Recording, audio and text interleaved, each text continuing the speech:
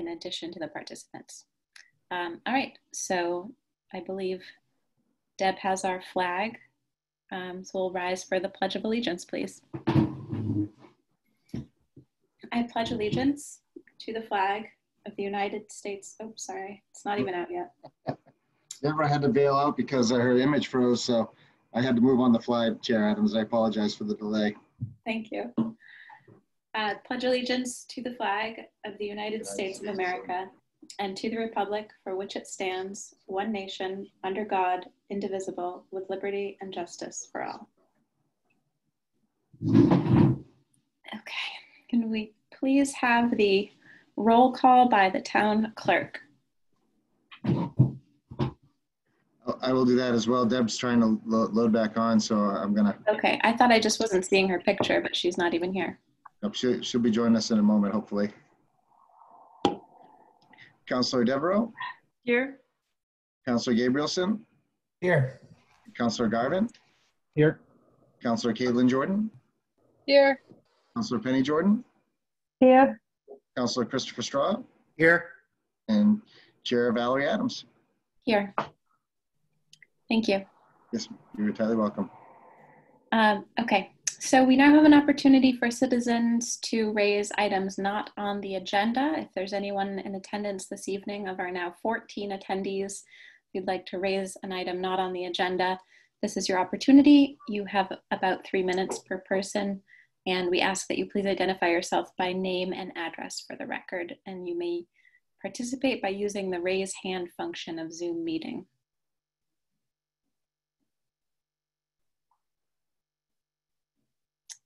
Seeing no one, we'll move right along to our first item. Item 102-2020, recommendation from the Energy Committee relating to a landfill solar project. Is there anyone from the public wishing to comment on this item? I see one hand. Again, you can comment by using the raise hand feature. Um, please do identify yourself by name and address. Ma- Madam Chair, if- if, not meaning to be, uh, interrupt, uh, you want to do the uh, workshop portion first and then, uh, and then do the council meeting after? Oh, there are items regarding the short-term rental ordinance and the uh, appointments committee recommendations that you may want to work on before you bring it back to the, uh, to the council for action. right. I guess, yeah. I apologize for the, uh, if there was confusion there. Um, no, that probably makes sense. I guess I was kind of seeing these as sort of merged together that we we would workshop when we reach the items, but it probably makes sense to workshop and then dive in. Um, I'm gonna blame that blame it on the heat. I'll take, I'll take the, I'll take the blame. You can take the credit, Madam Chair. Okay. So um, we will jump into the workshop. Um, and do we have a workshop agenda? There it is. Yes. Didn't pull that up. Thought I had seen that. Okay. So the short-term rental ordinance. Um, we can begin with that one. Um, I don't know. When we had discussed this at the last meeting, um, there seemed to be a general consensus that people were not ready to send the version we had to the planning board. So I don't know specifically what the issues were that everyone had. Um, presumably, there were some issues over the section F sub 8 good neighbor conduct and um, and the fine. Um, so we'll kind of jump into those, but first, an opportunity for public comment on this item. And I would note um, we did receive a number of emails, so those were greatly appreciated for, from everyone who sent the emails. And um, I wasn't able to get back to everyone, but I would like people here to know that you know we do receive those emails, and I absolutely read all of them, and especially appreciated the work that a few of you put into compiling data, which is very helpful for us. Um, to do that. So it looks like we have Louise with a hand raised and talking is permitted. So you can go ahead and unmute yourself.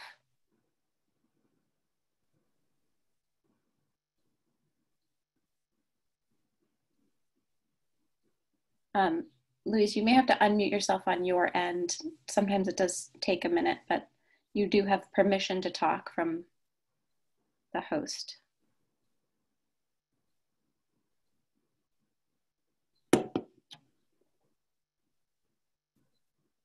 Um, Oh, yeah, There we go. ahead. So you're unmuted now. Can you hear me? Yes, we can hear you now.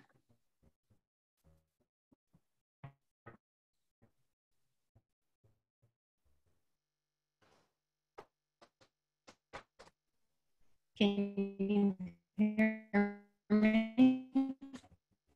Uh, it sounds like you may have a bad connection. Hello? We we can hear you faintly. Um, I don't know if Louise, if you can hear right now. If you maybe want to try calling in on the phone. Can you hear me? Is there any way to send a written message to Louise? Um, I, I think she may have just uh, jumped out and maybe trying to reattach, uh, Madam Okay. Chair. Okay. Um, so anyone else from the public wishing to comment on this item? Yes, Jessica. Jessica, you should be good to go. Can you hear me? Yes. Okay, I, I'm Jessica Sullivan, 441 Mitchell Road. And I just wanted to make a general comment regarding the short-term uh, rentals. I know there've been many meetings. I have, uh, I have not seen all of the minutes yet, but I would like to make a general statement, which is, um, I certainly am not in favor of what appear to be some kind of more draconian efforts to change the existing ordinance because I think that the uh, the purchase, the pending purchase or recommended recommended purchase of software to track internet uh, rental activity with the internet seems to me would be certainly the way to go. I do have a short-term rental, so uh, let me just put that out there. I do have one. And I think it would be valuable to get data for one or two years from the software before uh, any significant changes are made to the ex- existing ordinance. Thank you. Thank you. Anyone else from the public wishing to comment on this item? Yes, Michael. I'm Michael Howard, 15 Rocky Point Lane. Um, re- regarding data, are you are you able to hear me? Yes. Good. Uh, I sent to the zoning to the members of the zoning board uh, an email a couple of weeks ago um, that was informal data that uh, regarding Airbnb rentals. And what I what I demonstrated was out of 39 rentals in Cape Elizabeth on uh, this was conducted during June. 40% were showing available dates during June when the uh, moratorium was in effect. The statewide moratorium was in effect. Uh, I suspect that a large that an additional large percentage was unavailable uh, because they were actually rented. Um, in addition, I, I demonstrated that 33% of the rentals are violating the existing ordinance regarding maximum number of renters per bedroom and the uh, the current limit of eight renters uh, per house unless the lot exceeds 30,000 square feet. Um, I did not receive any response associated from to that message, and uh, and that's okay. Uh, but I have concerns about the enforcement mechanism uh, going forward. Uh, the proposed ordinance uh, indicates that uh, as I understand it, that, that people are supposed to be residents of Cape Elizabeth or at least residents of the state of Maine. Uh, based on my discussions with our code enforcement officer, my understanding is that that is based on the uh, filing of the homestead exemption. Uh, and uh, and I'm wondering whether or not that's a strong enough mechanism. And in general, I'm wondering what is the appropriate mechanism. I personally don't feel that the existing ordinance is being enforced, and I don't know what the proper enforcement mechanism is. And I'm concerned about what the enforcement mechanism will be going forward. With that said, I'm in support of the existing, uh, of the proposed ordinance as written. Thank you. Thank you, Michael. Um, anyone else wishing to comment? Okay. Um, it does not appear so. We do have 23 attendees at this time. Um, no hands raised, so we will, oh, Louise, Louise made it back. Louise made it back. Um, Louise, talking is permitted. You can go ahead and unmute yourself. I'm gonna try again. Can you hear me all right? We can hear you with connections a little bit shaky, but we can hear you better than last time.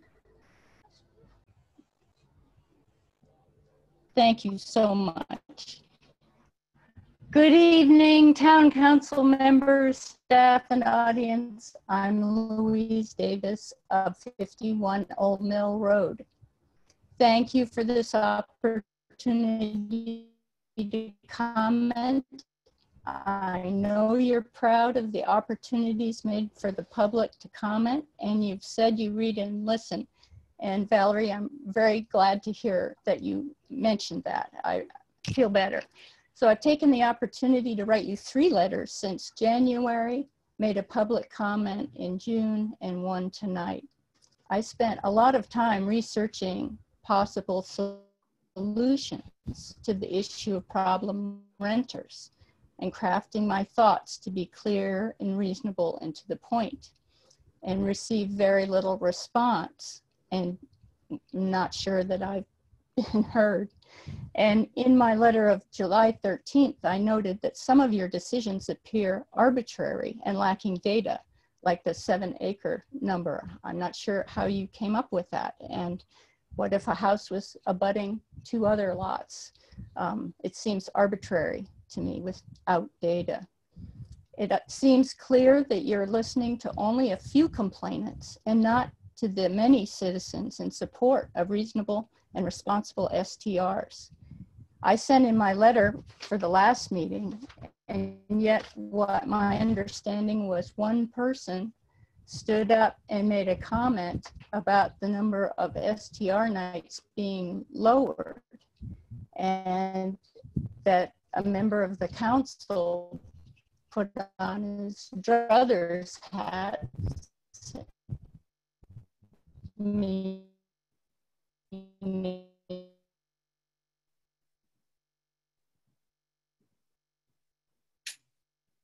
Louise, I think we have lost you.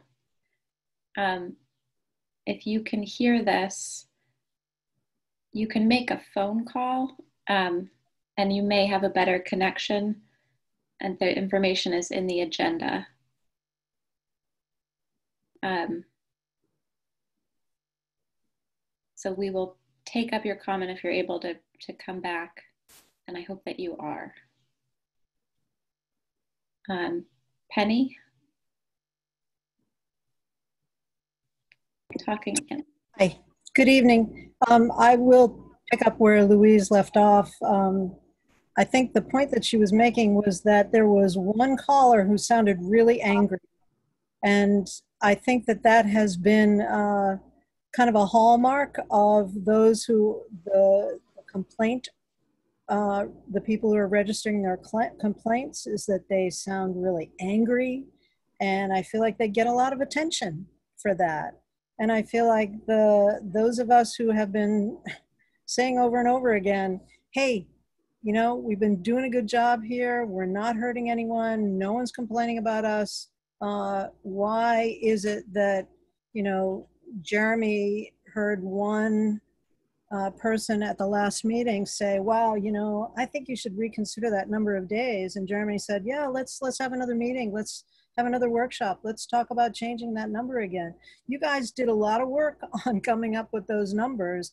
I thought it sounded all really responsible and reasoned and, uh, you know, an arduous process. And then, you know, you get one angry phone call and you go back to the drawing board with this. And you know, I, you've heard me say it before. I just wish that, you know, as was mentioned with the prior caller, um, that there, were, if there had been a mechanism for enforcing the original ordinance, which was a really good ordinance, you guys, it was very good, then we wouldn't be here today because the people who complained were complaining about people violating that original ordinance. Thank you. Thank you. Um, Jessica has a hand raised for the second time, but I'd like to just make sure there isn't anyone else who hasn't spoken first before coming back to her. Okay, uh, I don't see anyone, so Go ahead, Jessica. Uh, thank you. Do you need my address again or anything? No. Okay. Um, I just was interesting uh, listening to uh, Penny Call's comments. As some of you may recall, I was on the ordinance committee when we wrote this original short-term rental ordinance, the first ever for Cape Elizabeth. We do have we do have enforcement procedures in place. It seems from what I followed, the issue is not being able to track rentals that are are existing that are not registered within the with the town and i think the uh, proposal for software to track these in order to help code enforcement is is excellent um, and i think that once that is you know in force and we have extra personnel if needed to respond to what the internet uh, data tracking tells the town um, then then this can be dealt with. But there are so many of us that have short-term rentals that have no problems whatsoever, are in full compliance with the existing ordinance. So I, I really um, think that gathering important data is the first important step before you make any changes to what I think, frankly, is a very good ordinance that ex exists now. Thank you.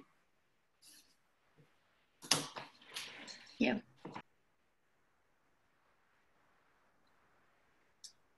Um, okay. It does not appear we have any other hands raised um, among the, oh, we now do. Penny, did you have a response that you wanted to? I, I can wait till I can wait till everybody has uh, spoken. That's fine. Thanks, Valerie. Okay. Um, Michael Howard. I just want to respond to the statement by the uh, by the previous person who said that uh, that there are good enforcement mechanisms in place. My experience is that um, that when violations, when I find violations, for example, multiple rentals within a seven-day period, if I contact the code enforcement officer, he says that I need to contact the police, and if I contact the police, then they say that I need to contact the code enforcement officer. So if there is a clear uh, enforcement mechanism in place for the existing code, then it, it is not clear to me what, that is. Uh, and that is kind of, that is the only concern I have about the proposed ordinance, which is uh, regarding, um, regarding state of Maine residency and the filing of a homestead exemption. It just isn't clear to me what the, what the mechanism is gonna be. And honestly, I don't have confidence that there's going to be any way for that actually to be enforced without individuals uh, calling the Maine Department of Revenue and uh, trying to report someone who's filed a false filing. I'm done. Thanks. Thank you. Okay. Um, I don't see any other hands raised. So at this point, we will close the public comment period. Um, and um, Penny and Jamie, I'm assuming that you, you two have some responses to those comments. So Penny, go ahead, and then Jamie. Okay. Um, and I apologize for any noise in the background, but it seems to be a pretty busy town tonight from a siren perspective. Um, I just want to say, and and I don't want people to take this as uh, being um, defensive in any way, but um, I I strongly feel that what um, I strive to do as the chair of the ordinance committee was to create one an extremely um, engaged and inclusive uh, dialogue around the subject of short-term rentals. And I also want to say that um, there is nothing arbitrary about what uh, we had put forth. When we talk about the seven acres or greater, we um, gathered data around the uh, number of lots that would fall within that, that range and um, use that as kind of the uh, template for um, how we might craft that part of the ordinance. When it comes to abutting and adjacent, what we tried to do is listen to the different models that exist around short short-term rentals and test them to see if there could be a way to craft them in a way that limited the uh, impact on um, neighborhoods, neighbors, and, um, and the community.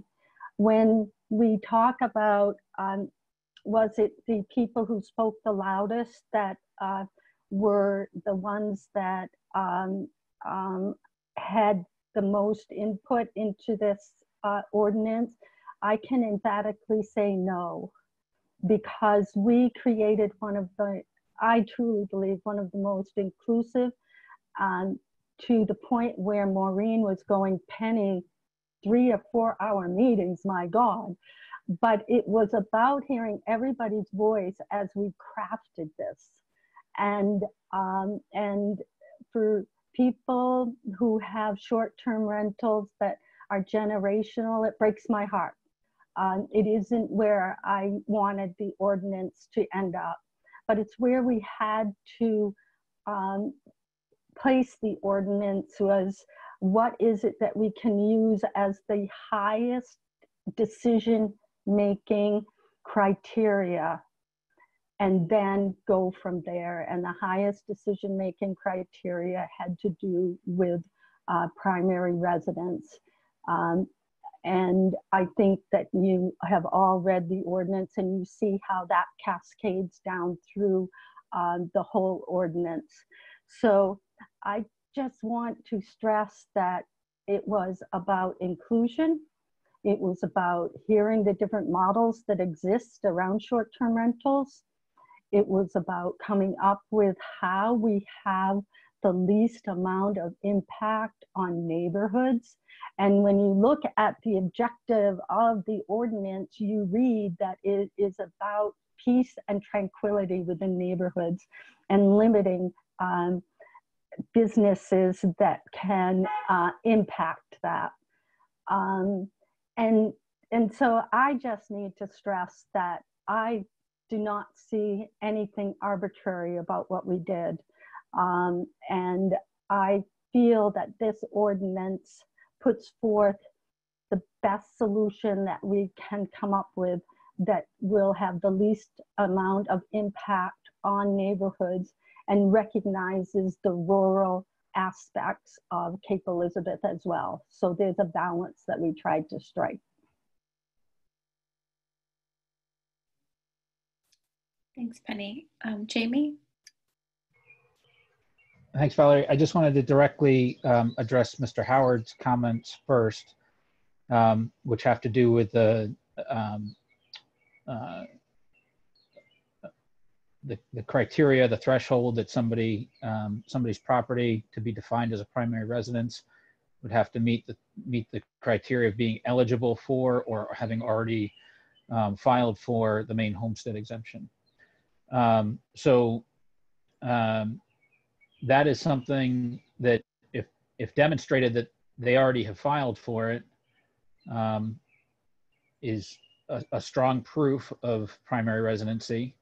If somehow somebody has chosen to um, lie or deceive in trying to attain that um, um, that qualification, that's a felony under Maine statute.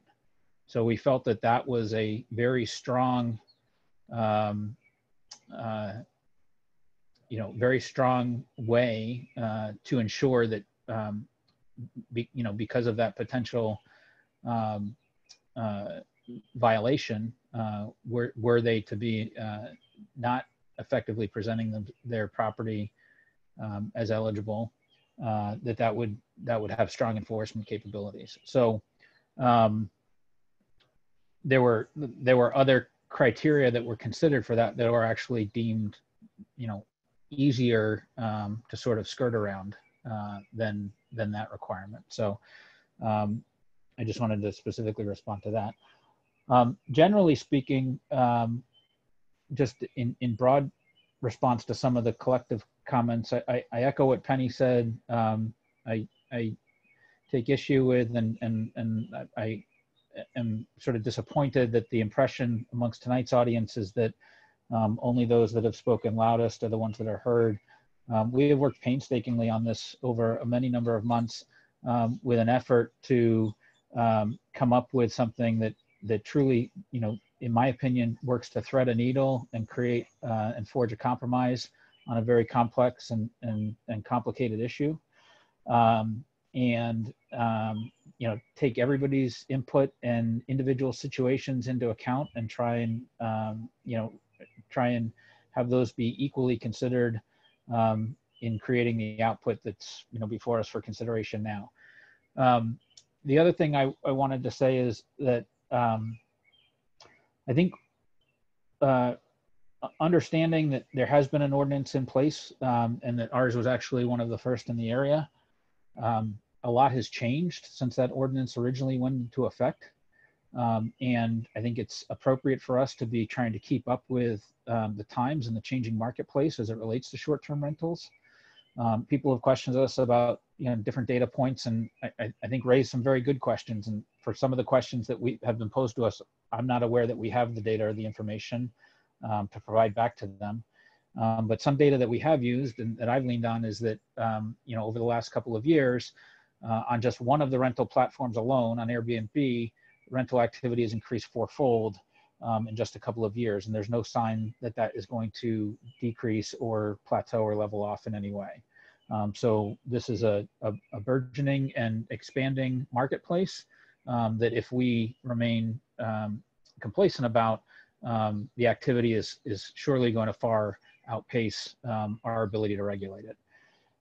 the other thing that I've been trying to keep in mind as a, as a driving sort of focus and and um, um, sort of balance to strike here is that the work that we've been doing has been by its design intended to react to um, and respond to specific known issues with the current ordinance and complaints that we've received um, from people within the community um, about the negative activity that's happening related to short-term rentals in their neighborhoods while also trying to be proactive in, like I just said, um, sort of responding to the marketplace, anticipating where it's going to go, and to, uh, to, the best degree possible, future-proofing um, our regulations so that um, you know this activity can continue, but in a well-regulated and um, uh, you know respectful uh, manner.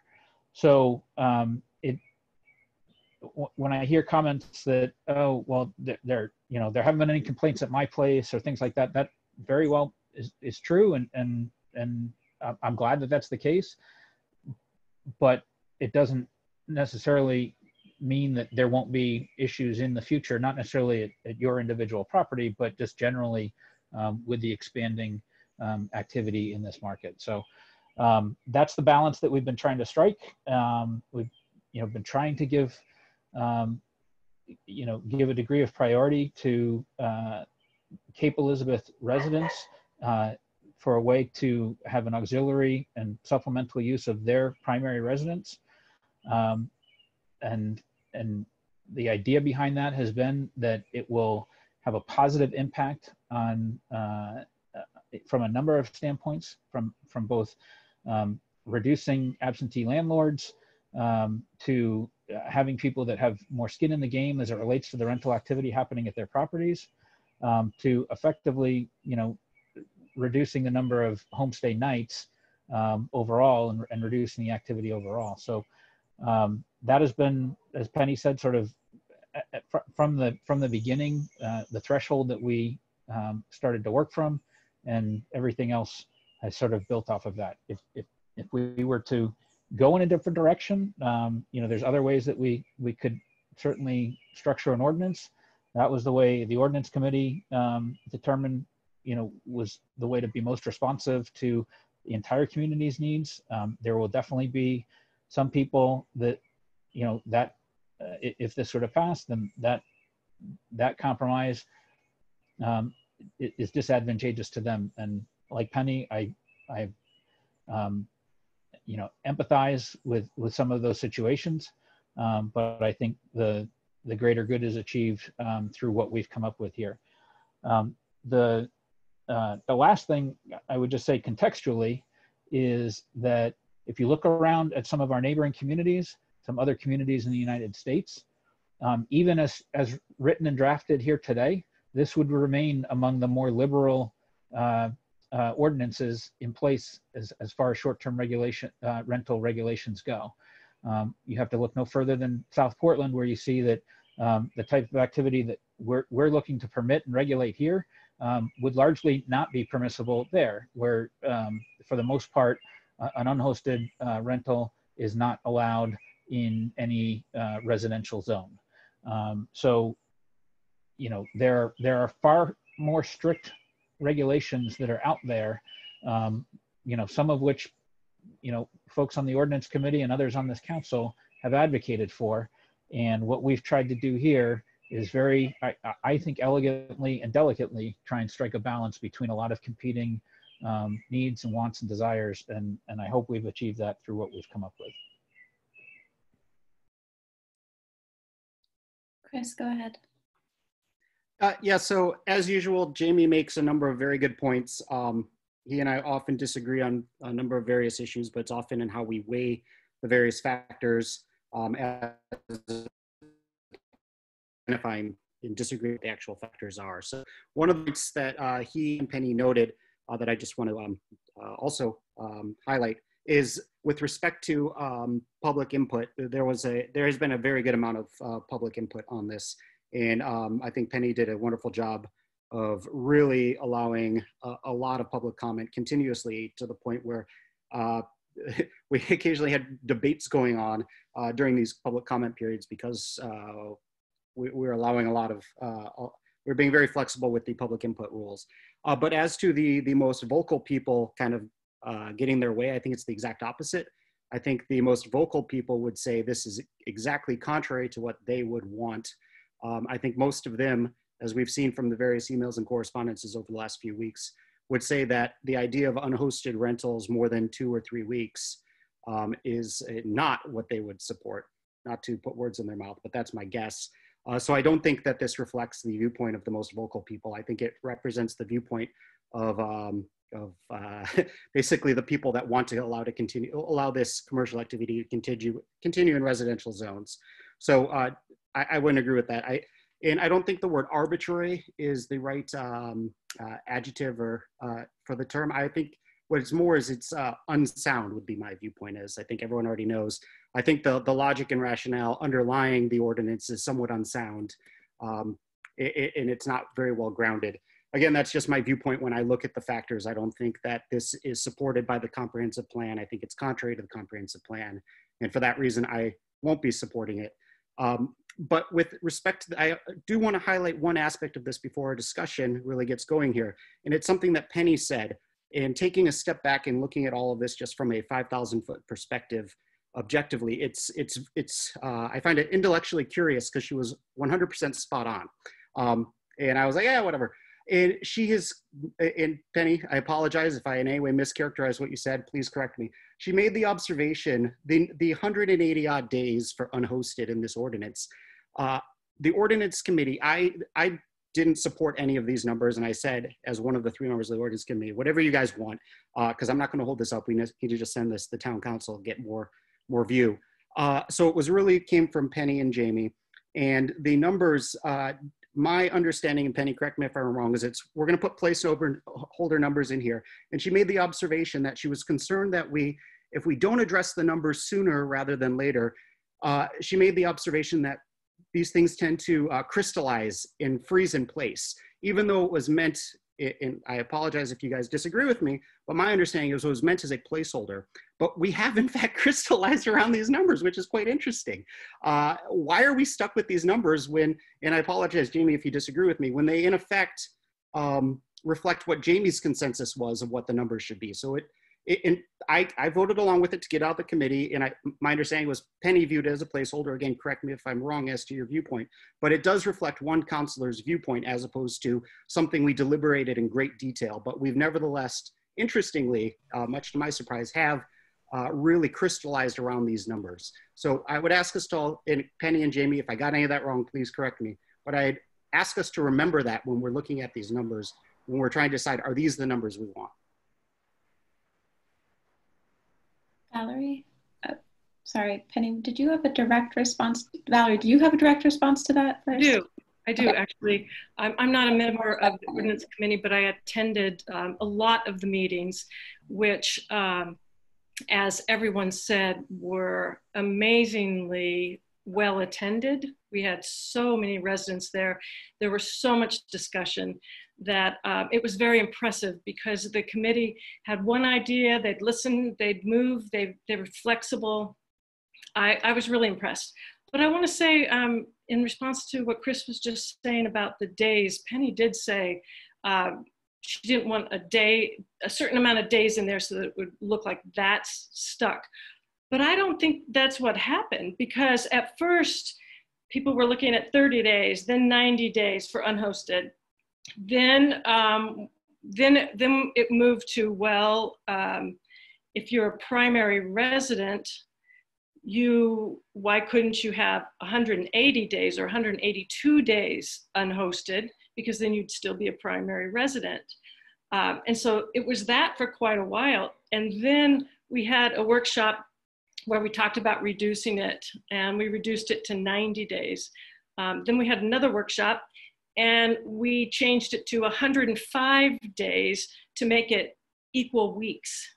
So I think that um, the number has not been crystallized. We've really massaged it and worked with it. And I think that, as Jamie said, we've really tried to strike a balance here. I don't think it's one councilor's desire over anyone else. It's more of um, numbers that we all came to at our last couple workshops.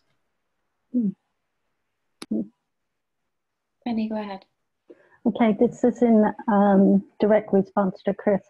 Um, Chris, you articulated that perfectly because that was one of my concerns as we moved it out of our committee to the um, town council was that things become uh, fixed. And I'm not saying that, um, I'm not saying anything about that these were Jamie's ideas. I'm just saying that we did keep having placeholders and we said, let's send it to the council. That's where we will have the dialogue around this. And that's another reason why when Jeremy said the other night that, yeah, maybe we should workshop this one more time, to me, I saw that as the opportunity for us to delve into those numbers and and um, and crystallize them a bit more because it's traveled through the bureaucracy and it's going to stay that way until we step back and we say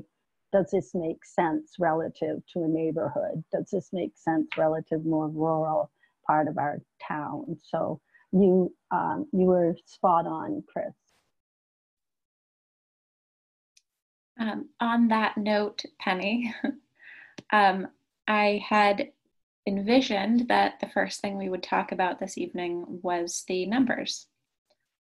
So, um, could we just get, get, I, I don't know if people have in their minds kind of other numbers um, or if we just needed to have more of a discussion around the current numbers. Um, so can I just have a quick show of hands um, who's satisfied with the current numbers? Jamie, Caitlin, and Valerie, Deborah. Okay.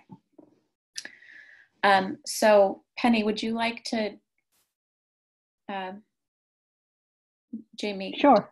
You have a comment before we start? Right. Yeah, I just, I, I just, I wanted to just uh, uh, reiterate a comment that I had made in our meeting last week, um, which which has to do with, you know, many of these components and elements of the ordinance working together collectively and and um, you know not necessarily individually, and so yes, I, I understand people thinking that a certain number of days is a very high threshold. And you know ultimately i'm not averse to to coming up with something lower.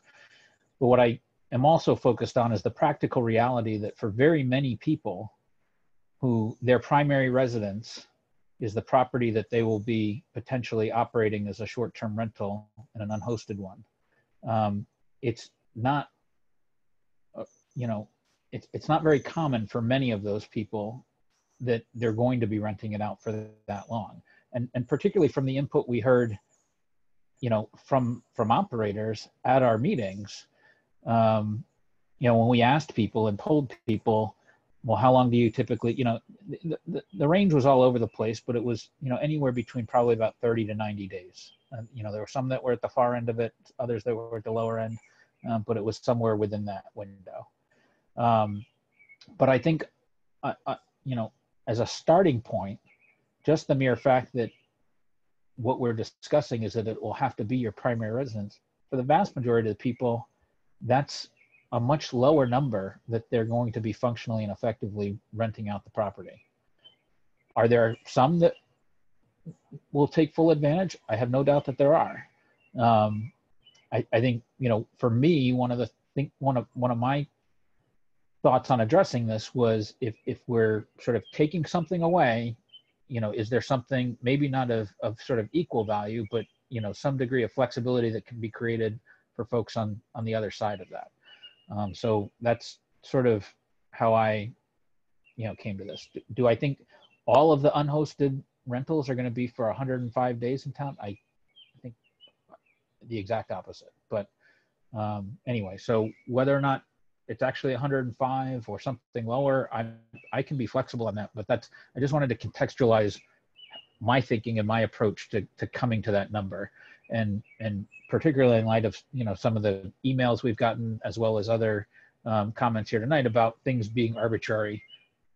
That was my rationale. So it, you know people can disagree with the rationale or not, but it, that that was how I was approaching it.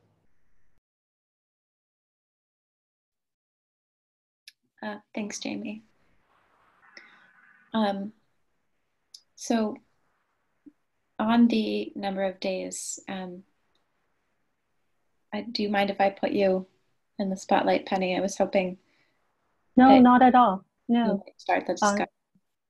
Um, um, I, I want to say that as I um, uh, read uh, the emails that uh, we received. And I, I do want to stress to people that I re read every single one of them um, because short-term rentals has been my life for I think the last year, um, and and I think it's a very uh, critical issue that, and we live in a town that uh, provides us the citizens provide us with data, and I and I love it that uh, the amount of work that went into it.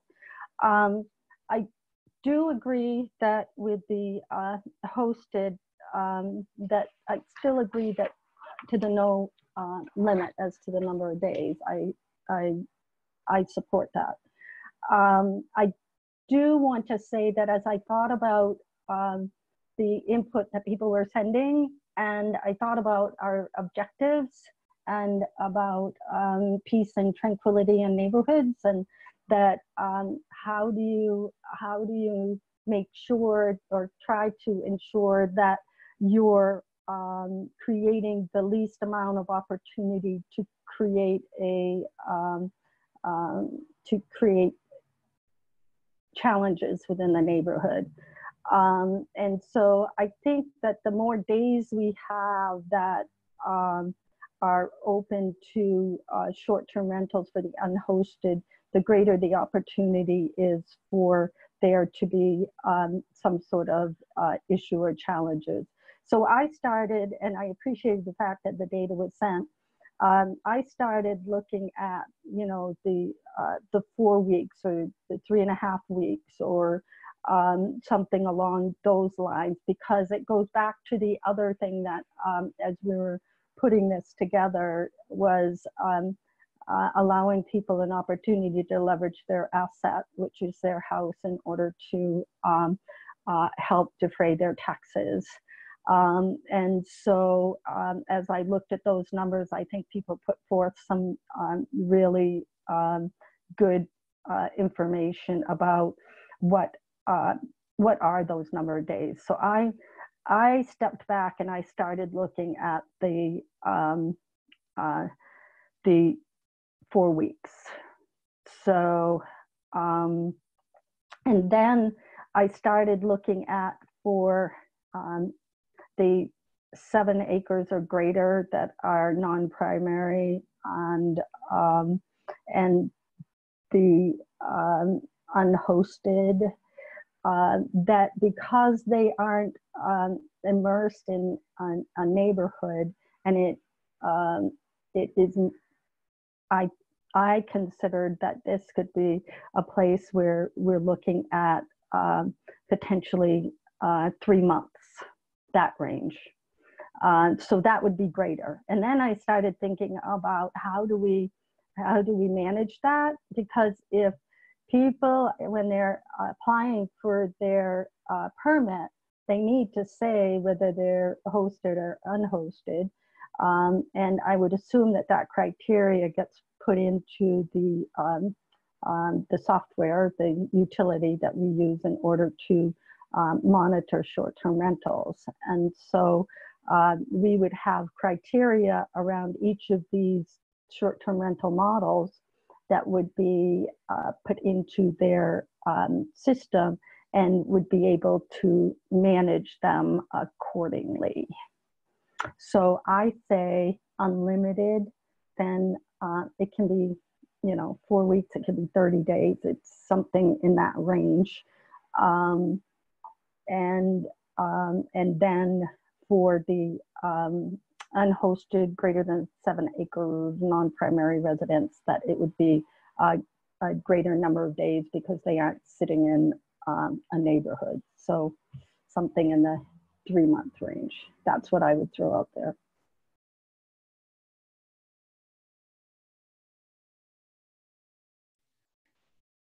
um, penny do you mind just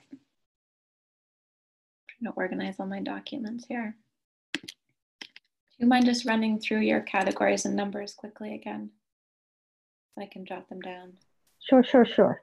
We have the first one, which is the uh, primary residence hosted. And I still support that that could be um, not limited. I mean, the people are there. I, it, it, it is what it is. Um, I think that can work. The uh, primary residence unhosted, I think that um, as I, I, looked at the data that was given, it's like uh, 30 days seems to be a reasonable amount of time to help uh, meet the objective around defraying taxes, which is one of the things we talked about. Uh, the uh, seven greater than seven acres, um, non-primary residents and um, unhosted that we could be in the um, in the three month range for that. And that also, also includes, the uh, abutting. And that's, uh, yeah. Does that make sense? Mhm. Okay. Um, Jeremy, I'm going to call on you next because I see you nodding along. Um, are you largely in agreement with the numbers that Penny just set forth? Um, I, I think that sounds more in line with what I was thinking. Yes, I, um, you know, I, I appreciate Jamie's observation that with the higher numbers that we were envisioning, relatively few properties are probably going to hit those maximums. Uh, I, I understand that. That that makes sense to me. I think um, the yeah, I was think I, I didn't have a specific number in mind for any of them. I support the idea of of not having a cap on the hosted rentals. I think something in that 30 range um, for the primary residences makes sense to me. And I, I also um, support the idea of having a, a, higher cap for the seven acre plus properties, just as Penny noted, because the, the, the impact on the neighbors is likely to be significantly less. So yes, in general, that, that sounds more in line with, with what I was thinking. I think it would also be consistent with the, um, many of the comments we, that we've received. Um, and I, I guess the other factor that I'm still trying to think about and weigh in with this is uh, based on our following our meeting last week where we discussed what the actual fees are going to look like. Um, the, I just I, I want to make sure that we I guess one concern I have with a 30 day rental cap and a $500 annual fee is that when you start to take into account the other expenses of operating a short term rental in terms of a cleaning service and whatnot, I wonder if we're actually allowing enough room for people who are relying on that as a way to help defray some of their tax expenses to make enough money for the activity to be, to be worthwhile. Um, so just paying attention to that interplay between the fees and the other aspects of the ordinance. Um, I, I, thank you for the the many folks who've written in with their com with their analysis on, you know, how much people are charging and how that relates to, to property taxes. I think that's very useful additional data um, to have for this discussion. Um, but I, I just what I so I guess I, I, could support a slightly higher number than 30, um, but um, I, it, yes, in general, it's in line with I'm. Valerie? Um, I, I, too want to thank everyone who sent us all of the emails and gave us all the projections on taxes. But I'd also like to say that with the pandemic going on, I have a feeling that there are going to be some people that need to rent out their place not just to pay taxes. There's a lot of people out of work. There may be people that um, need that help for more than just paying taxes. Um, and I feel that it's it's doesn't really um, it's not really clear when you say seven acres unhosted is two months, but then if it's seven acres hosted, it would only be four weeks. So I think we need to make it just seven acres, correct? Because you're saying hosted would be an oh because it's a non it's a primary res it's a non-primary residence they can only have it unhosted for oh all right so that would be two months or eight weeks it just seems that if we made it eight weeks across the board, it would be easier to um, to enforce. That way, and Maureen, maybe you can um, speak to this. How difficult is it going to be to enforce if we have some of the unhosteds for four weeks and some of them for eight weeks? Is that going to create a problem?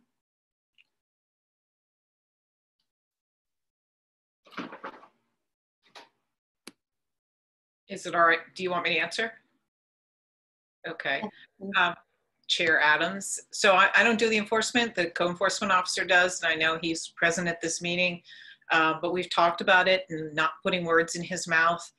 Uh, honestly, the shorter amount of period that people are renting, the easier the enforcement will be because it's the renting next to people who are expecting peaceful, quiet, and enjoyment that's creating the friction point.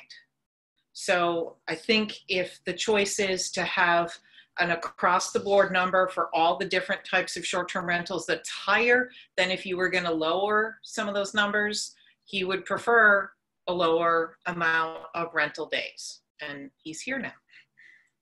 Um, ben, if there's anything you'd like to add to that, please feel free to jump in. It, it is the less categories is easier, although with the way we're setting up the new software, we should be able to follow those relatively clearly with those defined categories, but also what, what Maureen said is accurate. Chris? Uh, yeah, so um, th this is moving in the direction of more reasonable uh, in my mind, just my opinion. Um, two weeks, I think, would be the more reasonable for unhosted. Uh, it balances the various demands people have. I still think it it's not what I would want. I don't think it's uh, necessarily justified, but two weeks seems more reasonable. Uh, it meets the, the, the property tax arguments that people have noted. It two to three weeks will cover most people's, a good number of people's property taxes in town. Um, and to Jeremy's point, uh, one approach that we could adopt to deal with the fee, the fee issue would be to have a lower fee of like $50. And for that $50, you get to rent for only two weeks and you have to designate those two weeks ahead of time as part of your application process. Uh, that makes enforcement, I would imagine, very easy because if everyone on their ad has to list their, uh, their permit number, uh, the permit number would be tied directly to an exact two weeks that they're permitted to be advertising. And if they're advertising anything other than those two weeks, and we give that to whoever the vendor is, they presumably would be able to very quickly identify it. So that'd be a way we could address the issue that uh, Jeremy uh, raised, which would basically be have another category uh, that says two weeks, uh, cheaper permit, you designate the two weeks as part of the permit process. Um, and I did want to touch on that seven acres aspect. Uh, and uh, I understand the concerns some have raised that it seems kind of just like this, this arbitrary number that we've chosen. Uh, but for me, uh, the rationale underlying it is the fact that for at least just my personal view, our zoning ordinance is messed up. And one of the things we need to do uh, there, there are many things that need to be fixed in that zoning ordinance, but one of the things we should have done is, as part of the comp plan, is we should have created new uh, districts in town. And the problem is we have these massive, massive districts that encompass uh, areas of town that are very, very, very different. And we're trying to apply this blanket approach to these very different areas of town. And the seven acres is an attempt to, it's kind of a poor man's attempt to, uh, uh to treat certain types of properties within one massive district uh, differently. At least that's what my view of uh, was not in an arbitrary and capricious way, but as kind of a, a shorthand attempt to identify the properties where they're not near their neighbors, where where the uh, the visitors coming where um, they're making noise and there's no one there monitoring them 24/7 with skin in the game. Game, there's less of a probability that it is having an adverse impact on the abutters. So I think that, at least from my, that was my understanding of what the rationale was for the seven acres and why it's in there. And yes, I agree, it would be better if we simply had more uh, detailed uh, districts that were a little different, but we don't have that and we're working with what we do have. Jamie? Thanks. Um, I think um, what concerns me about reducing the number of days so greatly and even further restricting and regulating in the way that Chris just suggested with having to pre-designate weeks and all that kind of stuff is that we're then potentially setting up a, a pretty extensive and complicated infrastructure system for tracking and managing and regulating this for what will ultimately wind up being a very, very small amount of activity. And to be quite frank, I think I could be much more easily swayed to just eliminating unhosted rentals altogether um, versus trying to come up with this very complicated set of boxes that you need to check um, for what I think will really be, a, a, you know, a complete fraction of the activity. And to me, question I, I, I question why there's any value and, and what, what makes it worthwhile to even set it up in that way to begin with. So um, I, I think I, I, I agree with both Maureen and Ben's comments about trying to keep things as simple as possible. We've heard that consistently from from them throughout the ordinance development process. Um, we've heard that that they've relayed that to us from folks like host compliance that that you know the simpler that you keep these things the easily more easily regulated and monitored and enforced that they are um, so um, anyway that's just my response and, and reaction to that um, at some point too and it, I, we don't have to i don't want to take us away from the discussion of the dates but um, uh, valerie I, I do want to register a point it's in response to the email that maureen forwarded to us from ben about concerns around enforcement and and so on and so forth. So again, don't want to don't want to take us on a tangent from where we are right now on the on the days allowable discussion, but if I could just sort of pre-register that as something else I want to discuss on this. So. Are you referring to section F sub eight, good neighbor conduct? Yeah, so Deb, Deb Lane had forwarded us all the email that Ben sent through Maureen um, like a week or so ago, or two, almost two weeks ago now. So Yeah, I have that sort of slotted next, so okay, we'll get there. thanks. Um, okay, uh, Jeremy, yes. Go. Thank you. I just wanted to ask Jamie a follow-up question. Um, so when you say that shorter time period, are you referring to the two-week time period that Chris was talking about, or were you referring to the numbers you mentioned? Um, well, I, I think generally, if I if I may, Valerie, generally, um, just the further we reduce it, the less active. You know, we're we're really driving down. I think the the number of potential amount of activity, and I just start to question the cost benefit of. You know, so whether it's 30, 14, 14 with pre-designated week, I mean, you know, you work your way down this funnel, and all of a sudden there's hardly any activity, and we've, you know, structured a very complicated ordinance for something that in my opinion, my prediction won't really exist that much anymore. Um, uh, a question I did want to ask um, for folks that are gravitating down towards a lower number in the vicinity of 30 days, 28 days, whatever that is. Um, I don't know if anybody, I, I was thinking of this earlier today in anticipation of this being uh, an evolving majority opinion um, of the group. And I don't know if anybody has any thoughts because we didn't really talk about it much when we were talking about such higher numbers to begin with in the ordinance committee meetings. But at a lower total cap, if anybody has any opinion on changing um, the current seven day um, cycle period. So currently, you know, you can, you can, ha- so at, at 28 days or 30 days roughly, you would basically only be able to have four bookings. Um, so what, and if you're charging on a per night basis, um, you know, that might not be the full seven nights. So, um, I, I think I can come around to a much lower number. I, I, I'm not in agreement, but I, I, it, I think I could come around to, and I think it would, it would at least go some way to again achieving that balance that I've been so focused on. If we then altered um, the requirement that it be a, a full seven day rent cycle, I don't, and I don't know if that, I, I, not having really thought this through very much, but I don't, I don't know if I would be in favor of just eliminating it altogether and you could rent single nights and have 30 people rent over 30 nights or have it be a two or three night minimum. I, I understand the purpose of the seven days is to limit the turnover. Um, I think when we, if, if we wind up going so far in the direction of limiting limiting the total number of nights, again on the on the on the concept of some give and take and, and flexibility of compromise, I, I, I would be interested in opening that up for discussion. Penny?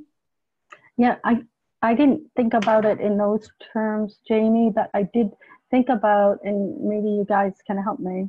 I did think about the fact that it's not um, when I talk days, I'm not talking um, uh, consecutive, I guess, because you could have somebody rent for uh, three days one week and uh, then a couple weeks later somebody rents for four. I think it's cumulative. I don't know if that makes sense, but that's kind of what I thought about.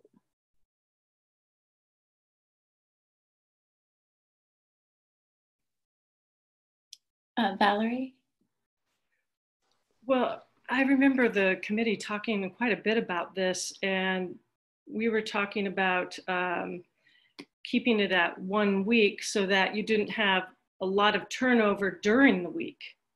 So I could see where somebody has one week in June, one week in July, one week in August, maybe something like that is not cumulative.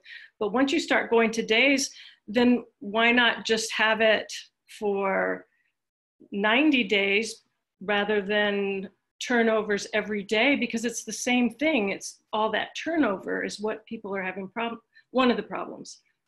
But the other thing that um, I believe it was Jamie brought up at one of the previous meetings is that we're we're reducing the number of rentals by making it primary residence.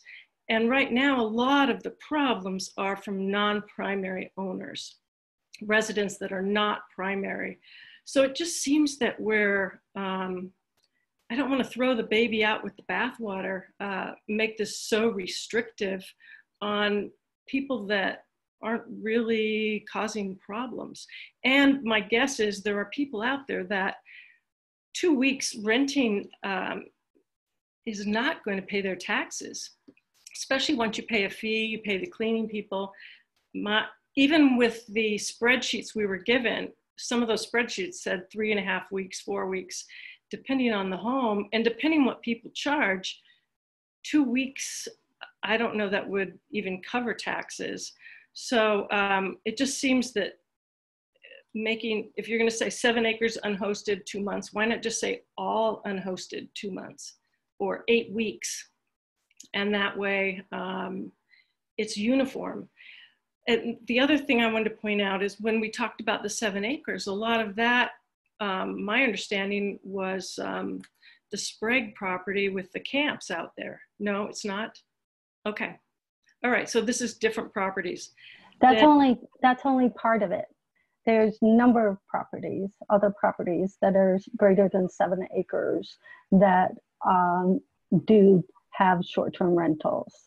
And so um, and there's, uh, we had some scenarios around abutting property and we had, so there's a number of scenarios out there. And um, um, much of the, the, when you look at the um, properties that meet the criteria of greater than seven acres, um, it is about, and Chris alluded to it, it's about properties that are outside of neighborhoods. And it, it really represents more of the, the rural aspects of Cape Elizabeth. So that was kind of the logic around it. Jamie? Um, I just wanted to ask either Maureen, I think Maureen, you're the best suited to answer this, but on, on Penny's interpretation of those days, I, I guess I'm not clear. Um,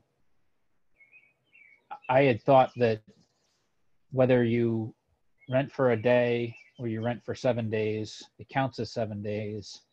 And that seven days, whether you had somebody in it or not, counts towards your rental threshold. Is that is that accurate? Yes. Say that again. Uh, yes. So when the ordinance was originally adopted in 2012, one of the main complaints was the churn in the neighborhood. So the right. ordinance was written for a minimum seven day stay.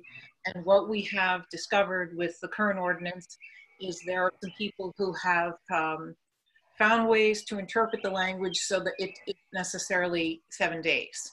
And uh, some of the bitterest complaints we've received has been about the people who are moving in and out of properties in less than seven days. So the current draft, we feel like we've closed as many of those loopholes that we can imagine by making it explicitly clear that um, you can have one rental per seven days. And if someone only stays for three or four days, say they, they come for a long holiday weekend, you still have locked up your property for seven days. Did that answer your question? Um, yeah, it, it does. Um, and so I think I think the interpretation that I understand is that that 30 days isn't spread out individually then, right? Um, you can, we had during this current process, had a conversation at one point about the 30 days would have to be consecutive, uh, easier to track, and that was right. the draft, and then it was gone. So right now, when you if you say 30 days, the idea would be that you would be able to rent your property for seven day blocks, four different times of your choosing. And just so we're clear, I know people are getting really, you know, concerned about 30 is not evenly divided by seven. You know, just because you say 30 days and it has to be a seven day block, someone could rent their property for a 10 day block. So you've got seven, seven, seven, and 10. Right. Um, okay, does that answer your question? I think so. Penny, did you have something to add to that? I just, um, I'm just looking at the brain trust here on this screen. And um, because I think we're coming to, we're closing in on something that could be uh, uh, logical. And we just need to figure out, and I'll look at uh, Jamie, Valerie, and Jeremy, and Chris, and Caitlin, I can't see anymore.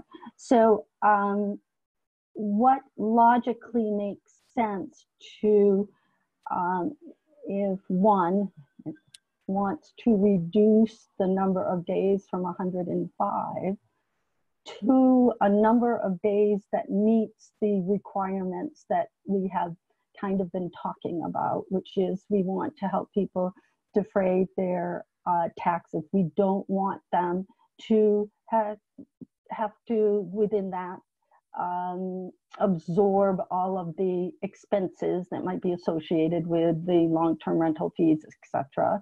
So we want them to consider that. And Valerie uh, Devereaux had an interesting point that um, there are going to be um, some other challenges that people might have uh, as a result of um, uh, COVID, etc. Not that I want to delve too much over there, but I think we're honing in on that we have a set of requirements and that we could come up with a, um, a number of days or a number of weeks that logically make sense based on that criteria. And I think Jamie, you kind of started alluding to it around, okay, we get this seven day thing. And I had thought about it from a different direction, but had um, erroneously uh, thought about the seven incorrect way. Uh, but what do you guys think? I mean, there's a number that makes sense based on what we put forward. And I just can't wrap my head around it. Chris? Uh, I don't subscribe to this rationale, but to attempt to answer your question under perhaps the rationale you want to subscribe to, um, I think what I would ask if I was approaching it, I think from the way you're approaching it, would be do I want this program to uh, allow people to pay the entirety of their taxes or a portion of their taxes? If I'm looking to, uh, if I say it's fair to allow them to pay a portion of their taxes, I would hew towards the two weeks. Uh, if I'm saying I want them, I want to be sure most people will be able to pay the entirety of their taxes, I would hew towards uh, four weeks and I'd, I'd settle on that 30 day number. If I'm saying I want them to be able to not only pay their taxes, but use this as a way to make a living, then I'd be going for a higher number. And it, that's the, the approach I would take. Um, and I think it sounds like we have a general consensus that four weeks should be enough for most um, most people at the rates people are looking at to cover their taxes even with the fees. Um, so if you say 30, which is a little more than four weeks, that seems like a pretty fair number if that's the rationale and the goal that you're proceeding under. But I could be wrong. I'm curious if anyone else has a different view. Um, I agree with you, Chris. I'm not going to vote for the ordinance regardless for other reasons, but um, in terms of the 30 days, I think that makes a lot of sense. Um, Jeremy? Yeah, and, and I guess I, just to add on to that, I, I appreciate the the thought that people have put into looking at this in terms of how the the rental income relates to people's property taxes. The fact of the matter is, if you're renting out your home as a short-term rental, it's your income. You can do with it as as you want, and so um, that that's one factor that I'm thinking about. The other is just coming back to this idea of the short-term rental as an accessory use to the primary use for the property, which is as a primary residence.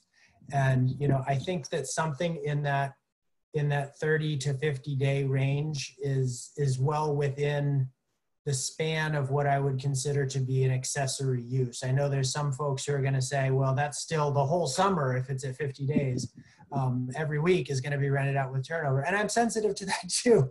But um, so I, I, I think I, I think you know th- that's the range that I'm looking at is is in that 30 to 50 day range, and I can I could see myself you know being fully supportive of any number that fell in that range.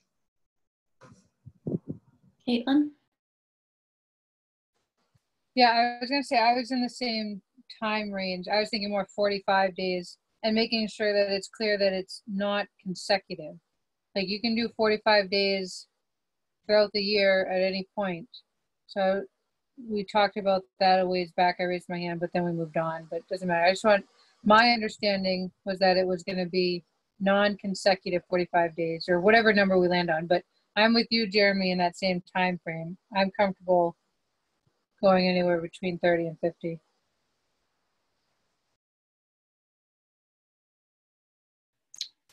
But I mean, doesn't that technically mean that someone could go out of town every weekend for 45 weekends of the year and that property could be turned over all of those times, which I understand is not going to be the majority of cases, and there may only be a few properties that do this, but I do in fact know of more than one individual who has done something like that, gone away many weekends and rented the property out. 45 days, you would think a weekend would be three days. So that only gives them 15 weekends to do that. Well, unless they do two nights and you know, it could end up being a lot of weekends. It year. could end up being 22, but it's not going to be 45. Um, Jamie? I thought we I thought we just said though that if they rent for a two or three night weekend, it counts as seven days. It does. So that I, unless I'm misinterpreting that, unless I'm not understanding that correctly, I don't think what you're both supposing as a hypothetical is accurate. Right Correct. now, that might be happening because there is no limit. But but as a practical matter moving forward, I, I don't, I, I think that's what Maureen just spoke to is the, as part of closing that loophole. Mm-hmm. So if I'm, if I'm misunderstanding that, I'm happy to be set correct on it, but I don't think that that's either how the language reads or what the intent is either, so. Maureen, do you just, could you just clarify? I'm looking at the ordinance, but it's so not. good. And, and uh, I mean, we have to make a distinction between what the ordinance says now, what the proposed ordinance says, and what you want it to say. Because in the end, you could depart from the way it is right now, and you could depart from the proposal.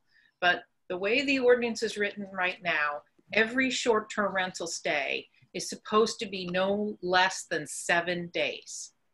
And unfortunately, some folks, every booking, Maureen, not every, not not necessarily st- you know somebody could book you know somebody that could be considered a, a booking window and maybe that's the language we should be using here but minimum seven days. We, we can't lock people in a house for seven days. So they could stay for three or four days and then the house needs to stay empty for the remaining week. Um, and then on day seven, you can rent it again.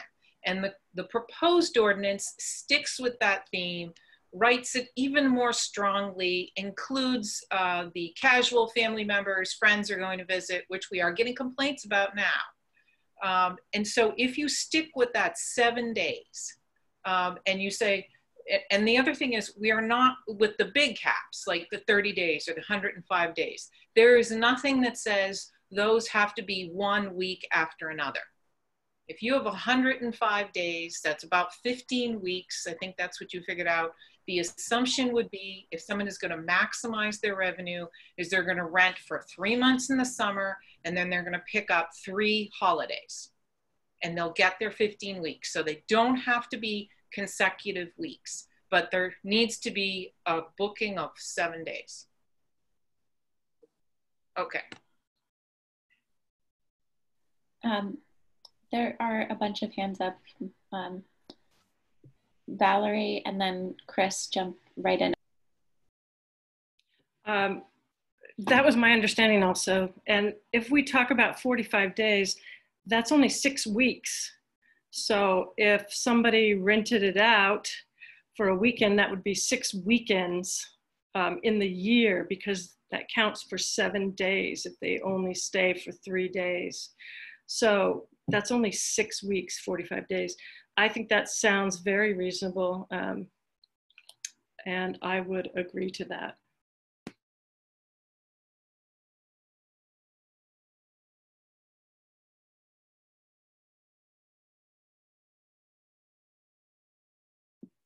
It looks like Valerie had to step away. Matt. Great, we can have a freeze for all. I think that's, I think that's accurate. Uh, her video and uh, audio just when uh, she may have to attend to something at home. Uh, Councillor Garvin, uh, oh, here's Valerie's back. Sorry, I thought, I thought that I said that, but I think I was muted. I said I have to step away for a minute so Chris could jump right in. Uh, I, I just wanted to point out, uh, or I just wanted to note something that uh, Jeremy noted about uh, bringing back in the discussion about accessory use. Um, and it's a little tongue in cheek, but uh, if an accessory use is a use that's incidental and subordinate to the principal use, um, for me, that would imply that it's a use that's occurring when the other use is also present. Uh, so if one were to say that this that we're looking at this as an accessory use to the principal use of it being a residential use, that residential use should be happening when the accessory use is occurring, which would, for me, indicate that we should really be looking at not allowing unhosted stays. So if we're looking at this as an accessory use, for me, that cues uh, causes us to lean towards um, uh, Jamie's point. If we're going to make this so complex, why don't we just only only allow hosted stays? Because I was persuaded during our various discussions and whatnot that the hosted, as people have known, the, it's the unhosted stays that are causing almost all of the problems that we're. That's the case. Why are we allowing these things if we could make this so simple by simply eliminating them and allow the hosted stays to continue relatively unrestricted?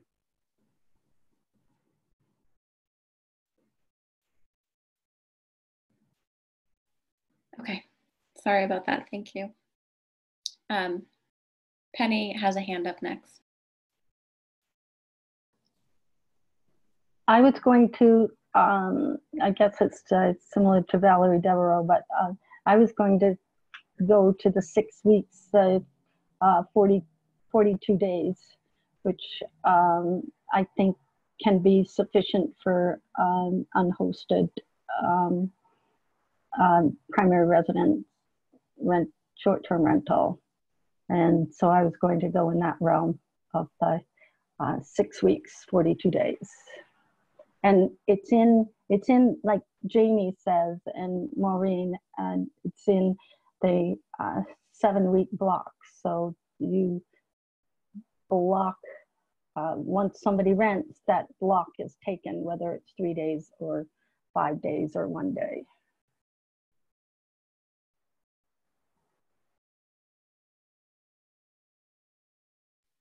It sounds like there may be some consensus around the six weeks ish time period.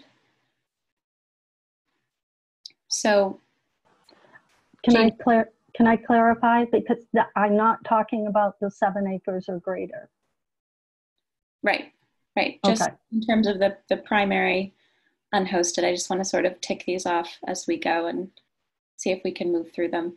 Um, so, could I just have a quick show of hands as to who would support? I mean, it seems like 45 days has been the number that most people have thrown out. Um, so Penny, Jeremy, Valerie, and Caitlin. Okay. Um, Jamie, did you have another comment on that particular? I did. I did because um, Maureen um, made a passing reference to something that I had meant to bring up as a point and had completely forgotten about. And as we went along through the ordinance committee meetings, and we added in fairly late in the game the point that she just referenced around all stay types, whether they're actual rentals or friends and family or what have you, all being bundled into the category uh, and definition of of the um, the use and and being a rental, even if there was no transaction, even if it legitimately was friends and family that you were loaning the house to or or just having them come by. And I've always been uncomfortable with that. Um, I understand its intent and purpose because I know that people are using that as a as a workaround right now.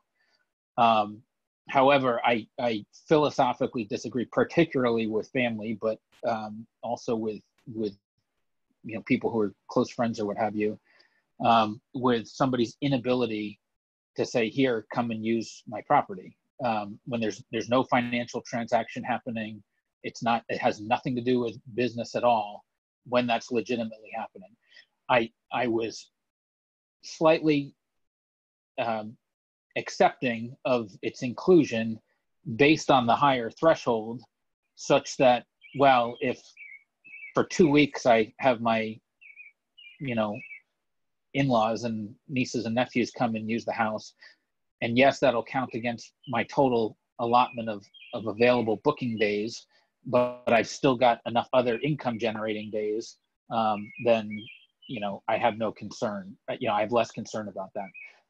I I I I I don't know that I I, I you know I, I think I think we definitely need to revisit understanding the the problems that it causes. I think we definitely need to revisit that if um, if we're considering non-income earning days as part of that total allotment.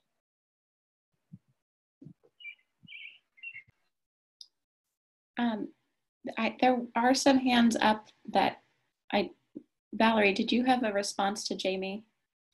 I, I'm just going to say I completely agree, and uh, I don't think that it's our place to tell people that they can't have friends and family for three months visiting them. So I think we we have to change that. That just doesn't seem um, like something that we are setting out to um, to enforce. Uh, it just it doesn't seem right to me. Caitlin, did you have a comment on that specifically? Yeah, I was gonna say, Jamie, thank you for bringing that up because I totally agree as well. I, I forgot about why I was going with such a high number to begin with, but that's correct. I think we need to definitely look at that because you can't tell people that they can't have their family come visit because they've maxed out their six weeks. I'm not on board with that.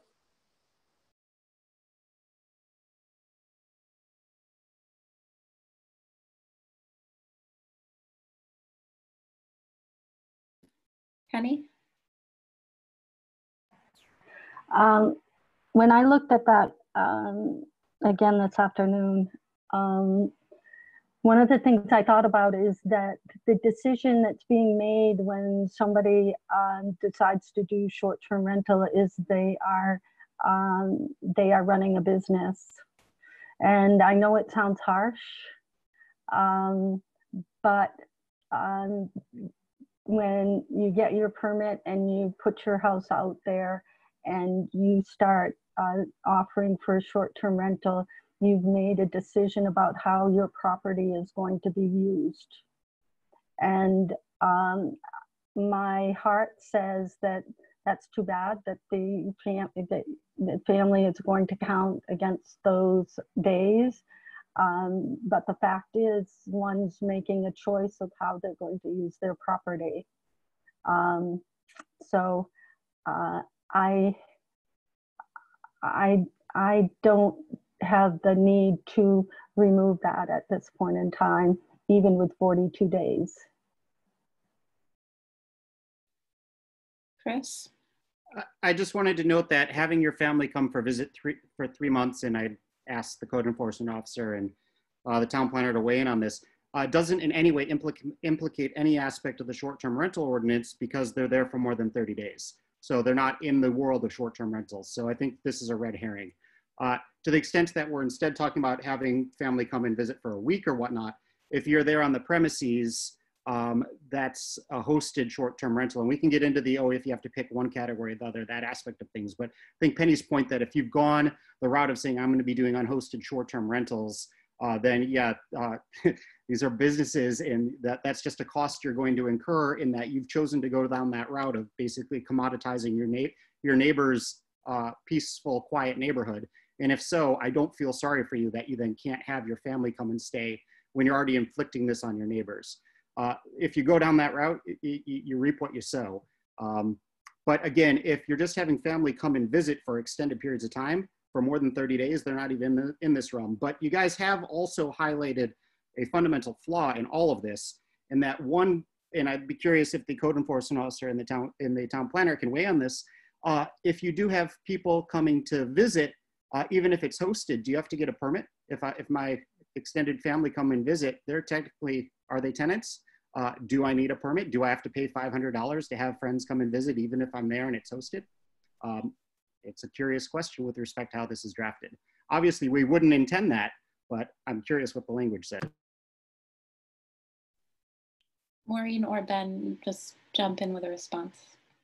Maureen says Ben. yeah, I, I wouldn't consider family visiting a house as a as a short-term rental. I think that if it's your primary residence, uh, friends and family can visit you, and that's completely unrelated to short-term rental. even if it's um, if the primary resident is not in residence, so it's just the family at the house. No, that that would be different if the family is not present. But if you uh, if if you are having family come visit you while you're in the house, uh, I mean that's a that's a single family use that has nothing to do with short-term rental. If if you're allowing friends and family to use your house for a week when you're not there, uh, then that appears as a short-term rental. Matt, did you have something to add?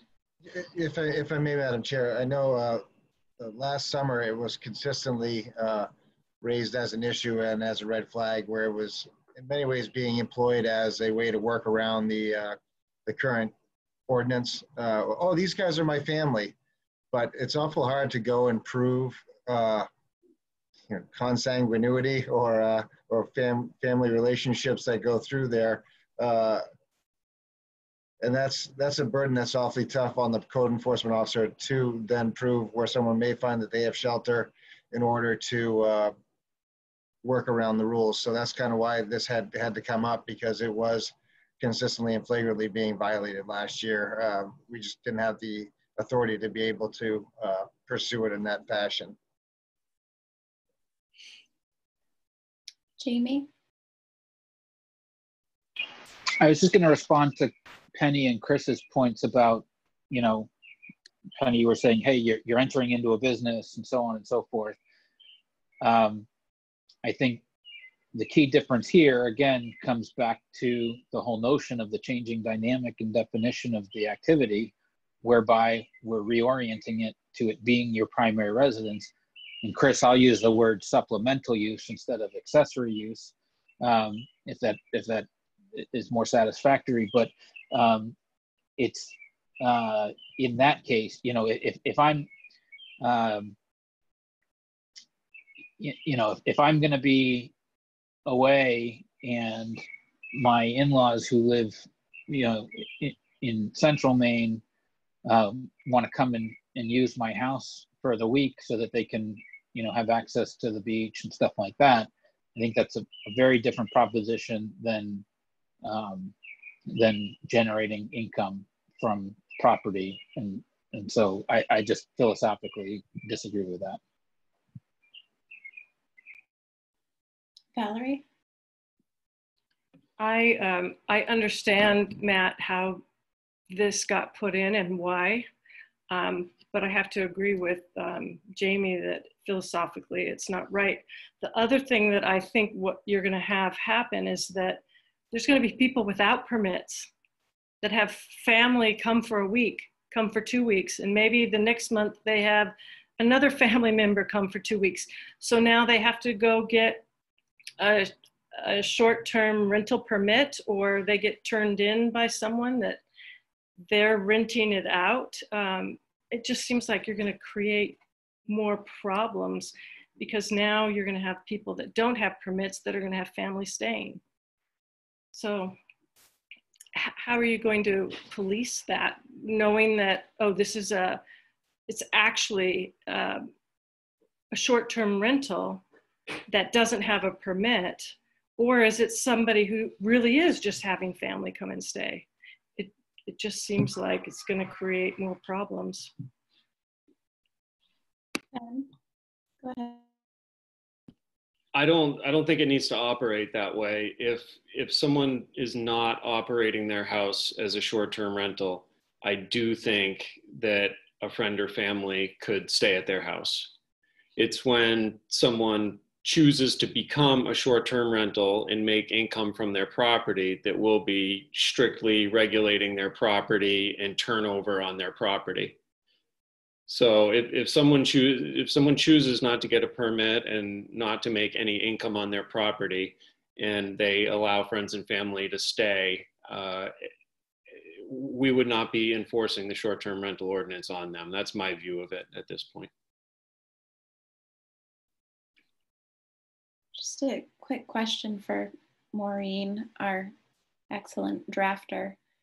Um, is that the way the proposed ordinance reads? Now, if I understand what Ben said, uh, if you have a short-term rental permit, um, anytime anybody is using your property, it's counted towards your number of short-term rental days. And that's what you're agreeing to that, Ben. Yes. So, I, I, mean, I understand folks are uncomfortable with this, and I'm sorry you're uncomfortable.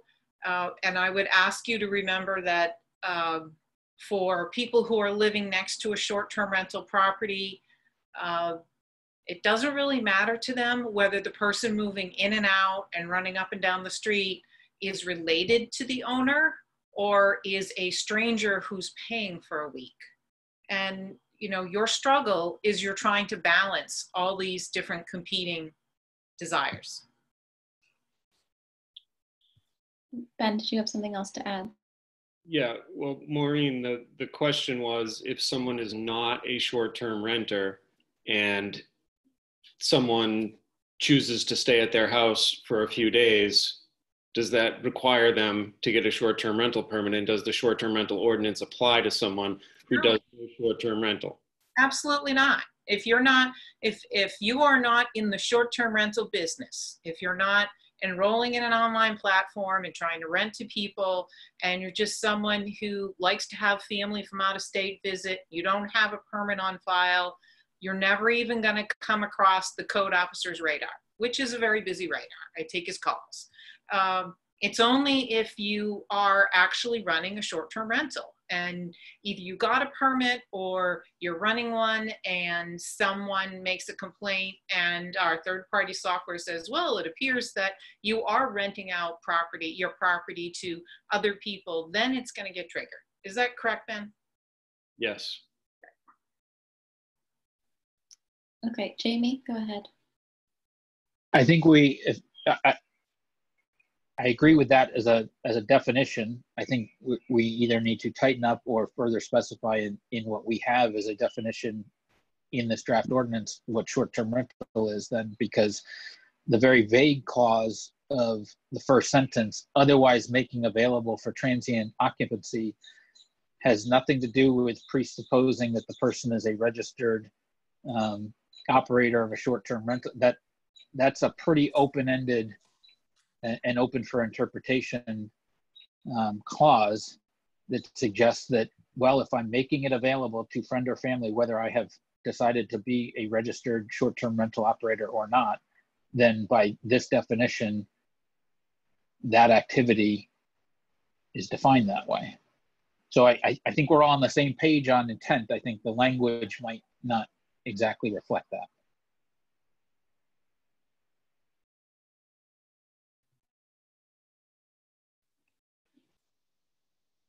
Maureen.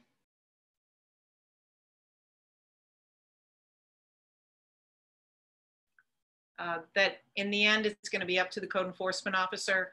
And if he receives a complaint, uh, he's going to call Mr. and Mrs. Jones and they're going to say, our sons were up for the week and these are their names. And he'll have to make a determination on whether he's going to pursue enforcement. And I think he's going to be able to figure out when someone is hosting a family and when someone is um, trying to repeatedly rent their property without getting necessary permits. But the problem if, if, you, if you take out the language that says or otherwise, um, that is the loophole that we, we have people using now.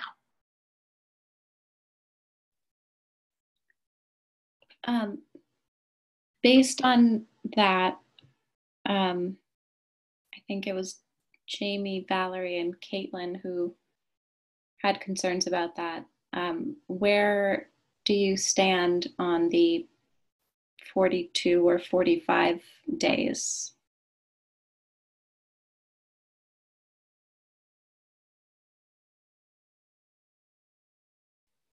Just trying to see if we can get, you know, I, I know I'm not voting in favor of the ordinance, Chris is not. So I just want to see where there is and is not consensus um, on that number for the primary unhosted. Valerie? Um, I guess I would go go along with it for the for the six weeks. It just seems um, really severe for somebody who's having a hosted rental, but I understand the reason for putting it in.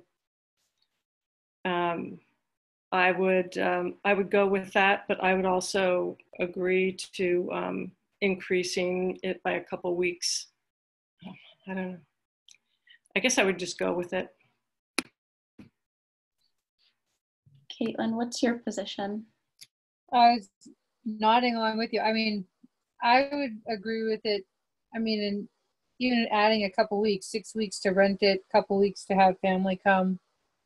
But at the same point, I hear Penny's point that if you're choosing to rent it and make a business out of it, then you give up the right to have your family come up and use that time. So I hear both sides. So I'm I'm good. We can move along. Um, so that would be a majority in support of Jeremy. Where are you at right now? Um, I'm still fine with the, I, I'm fine with, it based on the explanation that we've heard. And, and I would also just note, you give up the right to have your family come up when you're not there. I don't, I, I tend to stick around when my family comes to visit, but maybe I'm odd that way.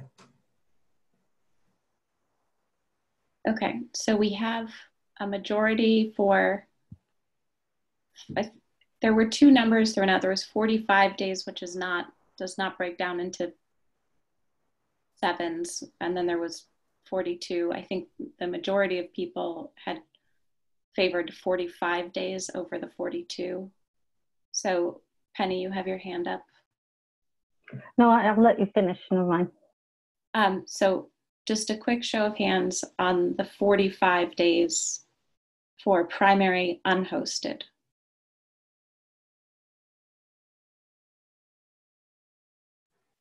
Was it that people were saying six weeks and not 45 days? Can I, that's, was it six weeks that people were saying? I, both were thrown out, so It's 42 days, right? Yeah.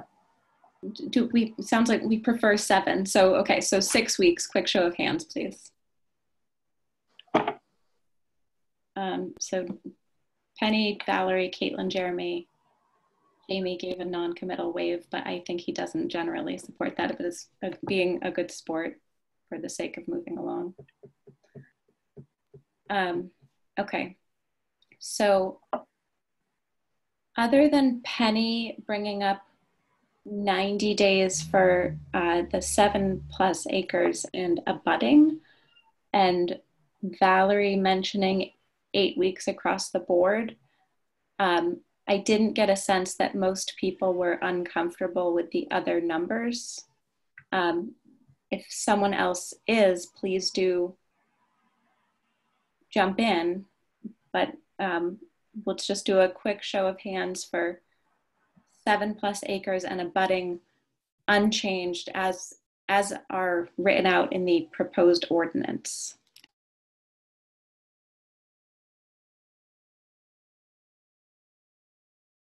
Whoops, I was muted, sorry. Um, so that's, that's everyone except um, Chris and myself. Okay, so I think that we have resolved, uh, yes, Maureen and Penny are both waving. Um, Penny and then Maureen. Did we, I'm sorry, I sometimes I lose my place. Did we resolve Jamie's question around the definition of short-term rental? Because I thought he had a question, which I thought was very uh, um, uh, meaningful because the um, otherwise making available for, did we resolve that, that the definition stays as is? So my understanding was that this last question, people in favor of the, the six weeks, was leaving, leaving that as is in the proposed ordinance. Okay. Does that change your point of view?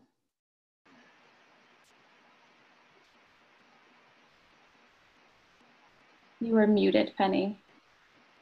I just wanted to know it was resolved, if people think it was resolved. Does, if anyone does, did not intend that, please raise your hand now. Okay. Um, Maureen? Yes, and I'm, I'm sorry to make this difficult for you, but under the seven acres plus, it was, it, it has applied to both primary residents and non-primary residents, and it keeps going back and forth depending on how many days you um, assign to primary residents unhosted. And as long as seven acres is gonna have 182 days, I think you need to say that the seven acres is gonna apply to people who it is primary residents and non-primary residents, because right now it just says non-primary residents. So I'm going to assume with some of the nods that everyone's okay with me making that change. I think that was the intention. Great, thank you.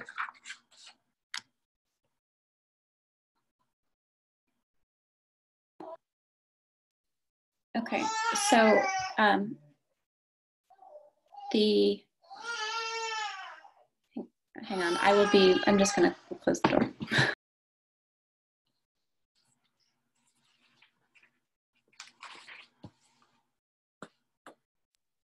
Okay. Um, so we have a consensus on the number of days unless anyone else wants to bring something up. The next item, um, which Jamie had referred to, was the email about enforcement um, from Ben, which included both the section F sub eight, good neighbor conduct, and also the fine issue. Um, so Jamie, do you just, now that we have Ben right here, um, did you want to pose a question specifically or start that discussion? I'm happy to. Um, so Ben, I really appreciate your input on this. I know how difficult this is both in terms of what you deal with currently and what we're looking at on a proposed basis as well.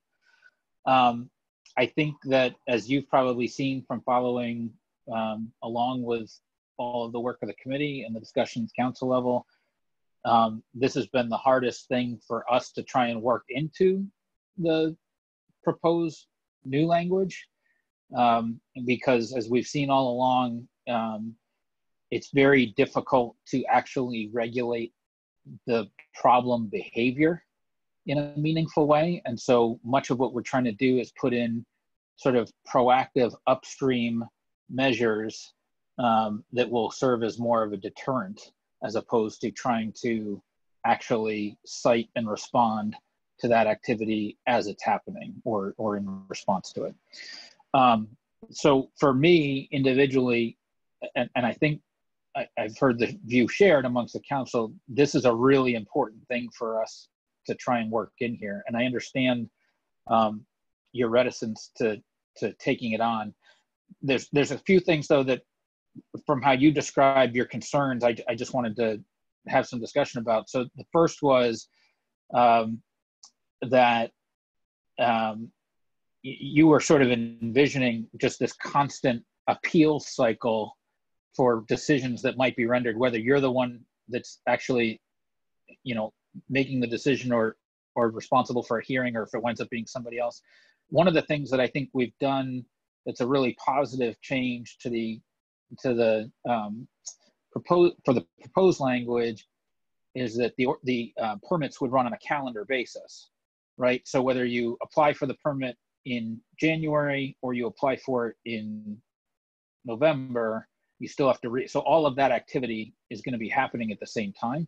So I would I would imagine that any disputes around denial of permit would then become a much more condensed window, right? So if you're you know if we're issuing all of the permits in January and there's been some sort of component that factors in well what was your you know reported behavior like for the past year you know that feeds into that renewal or approval process then you know in january and bleeding into february is probably when all those disputes would be right? It's probably not going to continue on through the rest of the year right? Well it could.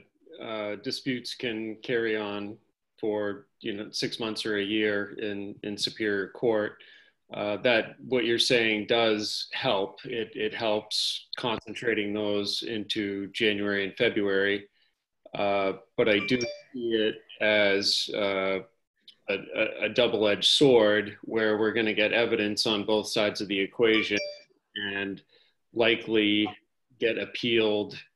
I, I, I look at situations where my decision is going to be appealed regardless of what I decide. And in, in those situations uh, are bad for legal expenses.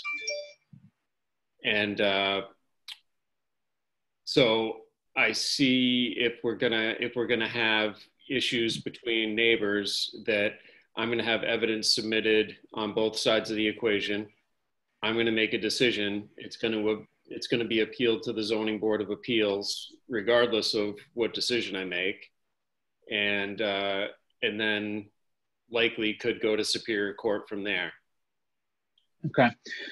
Um, I understand. I mean, there's people that are just going to fight it no matter what. Is what basically what you're saying, as I understand it. But um, when we envisioned this, we were trying to make an analog to the current liquor license um, process. And so, can you can you help walk through what that? I mean, what what does that look like for you? And you know, if if if we, I mean, I I don't think we've denied a liquor license in the five, almost five years that I've been on the council. It's a pretty perfunctory renewal kind of vote that we take almost every month. Um, but what does that look like? Well, liquor what are license, the, what are some of the factors that go into like if if you were to if you were to provide us with a report that says, "Oh, I'm not so sure I recommend," you know, uh, renewal of this license, and here's why. I, I I don't think I've seen one. Like I said, in the almost five years of doing that. yes, and, and because those, those establishments generally aren't bothersome to their neighbors and we haven't received any complaints from the neighbors of those establishments. Uh, but if, if we did receive complaints from neighbors and the in the liquor license, the way the license was structured said that if the council receives complaints, they may deny based on those complaints. I, I think that would become problematic for the council. Isn't that what it is though? Uh, I don't, I don't know exactly how the law on liquor licenses is, is written. Uh, but, but I, I guess the fact that we don't know because we haven't gotten complaints.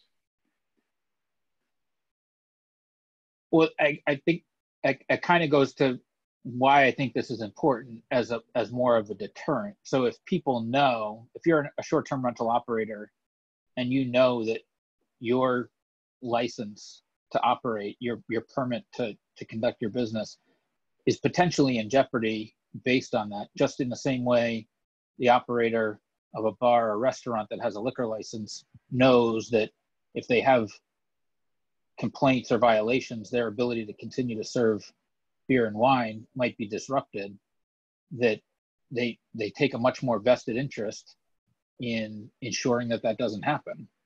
And so uh, uh, I'm not I- I'm not saying that there won't be instances of people appealing and complaining, but I think the intent and purpose is if it was to operate in the same manner in which the liquor license permits do, then in my view, you just kind of prove the point that as a known and active deterrent, it, it serves to help to curtail the behavior. We, go ahead, Chris, or I'm sorry, I can't say that. Chris, you can you can jump in. Uh, uh, respectful, I think uh, Jamie did a great job teeing this up. He succinctly summarized this is this is really a big issue we need to address, but I do think Ben has the better argument. I think Jamie, your argument actually proved the opposite point.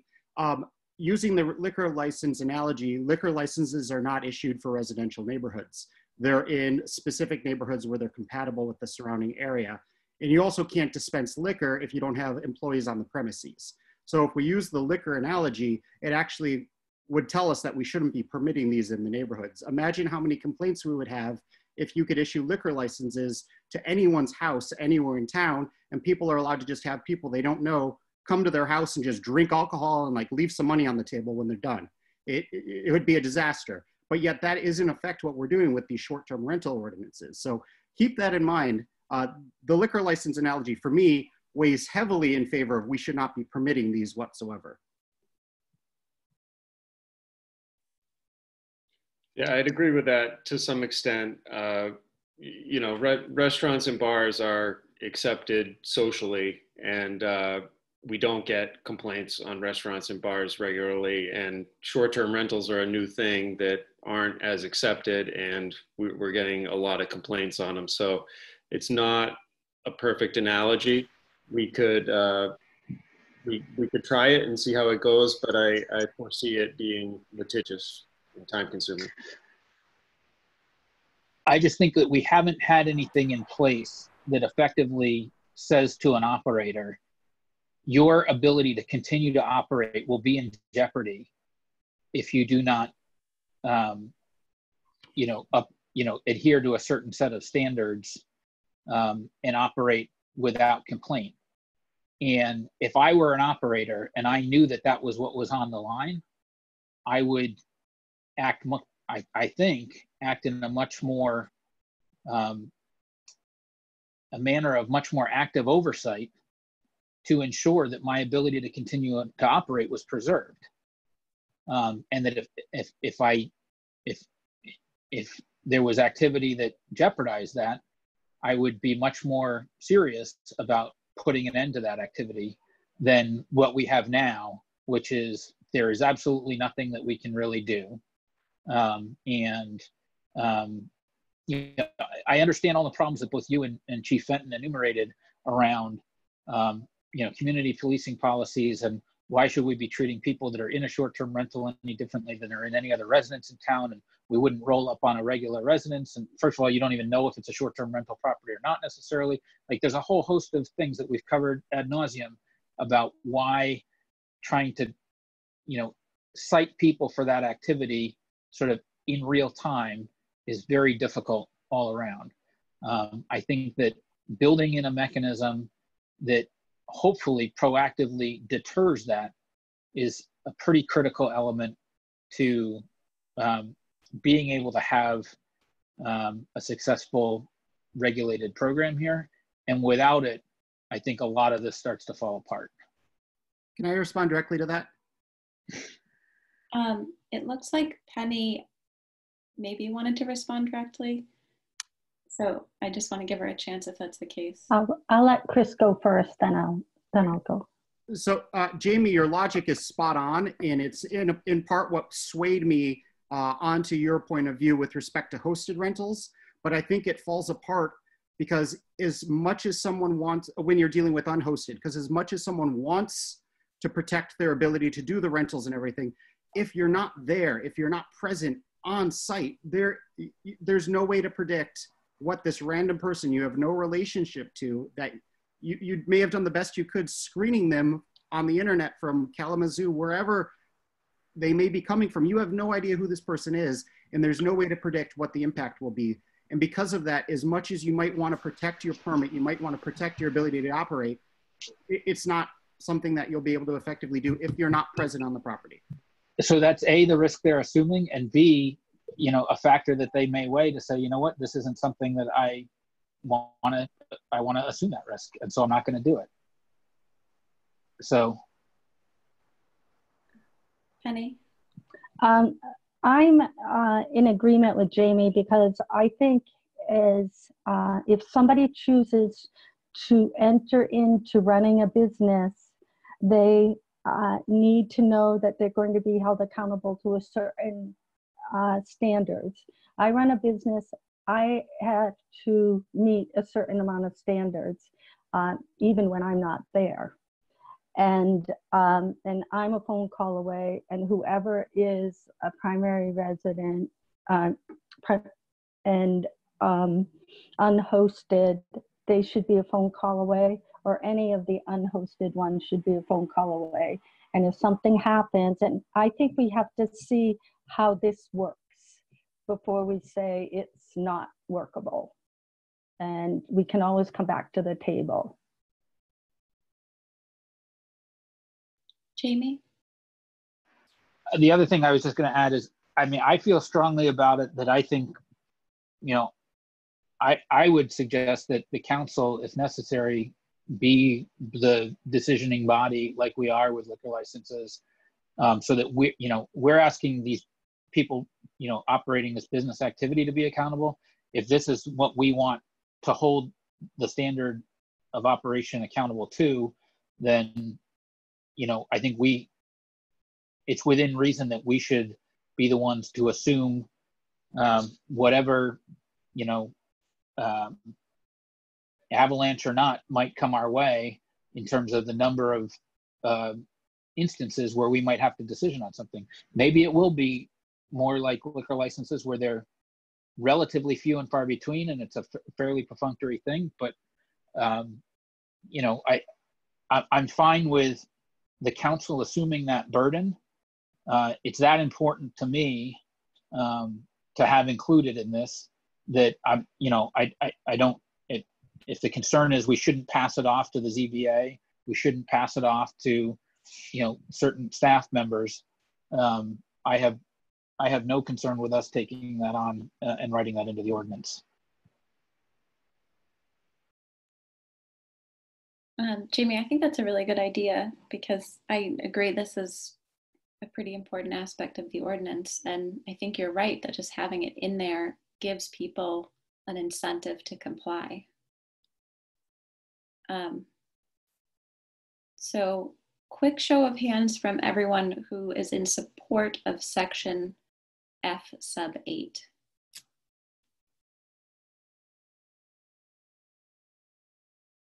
Okay, so Penny, Jamie, Caitlin, sorry, I froze there for a minute, but then caught up, and Jeremy. Good, okay, and Valerie. Um, and, and what about the second point Jamie made where the council takes on, and just, just to clarify, Jamie, you mean if Ben opts to deny based on this, the review comes to us?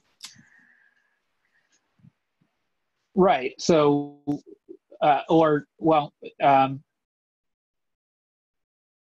I don't know. Maybe, we need to think it through a little bit more in practice, but um, because um, as it stands today, again, if we just stick with the liquor license thing, those aren't coming to us for appeal. Those are just coming to us for approval.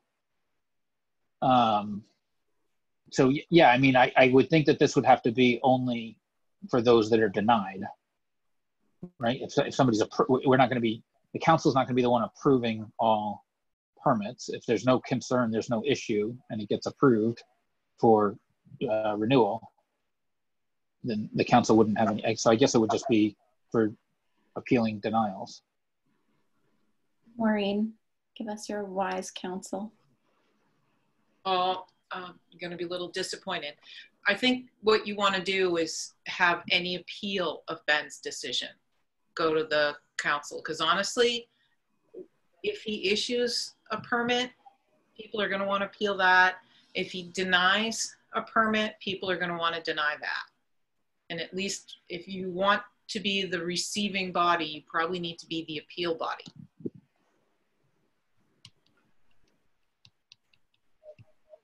Um, I think. So how does that work? Like, who has standing to appeal the issuance? It, well, typically, any, I mean, I'll, I'll let Ben step in, but I know when I've worked with the town attorney, it's like anybody who can prove any interest, and it's not that hard. Even if you're not living nearby, but you're a resident, that you can prove you've got some standing. And the idea would be that, you know, someone applies for a permit, Ben says you've got per- you've got complaints, I say no. So the STR permit holder could appeal to the council, or someone uh, applies for a permit and he grants it, and the neighbors or whomever say, well, we're gonna, we don't think he should have given him that permit. We've had problems. They want to appeal his decision that way as well. Jeremy?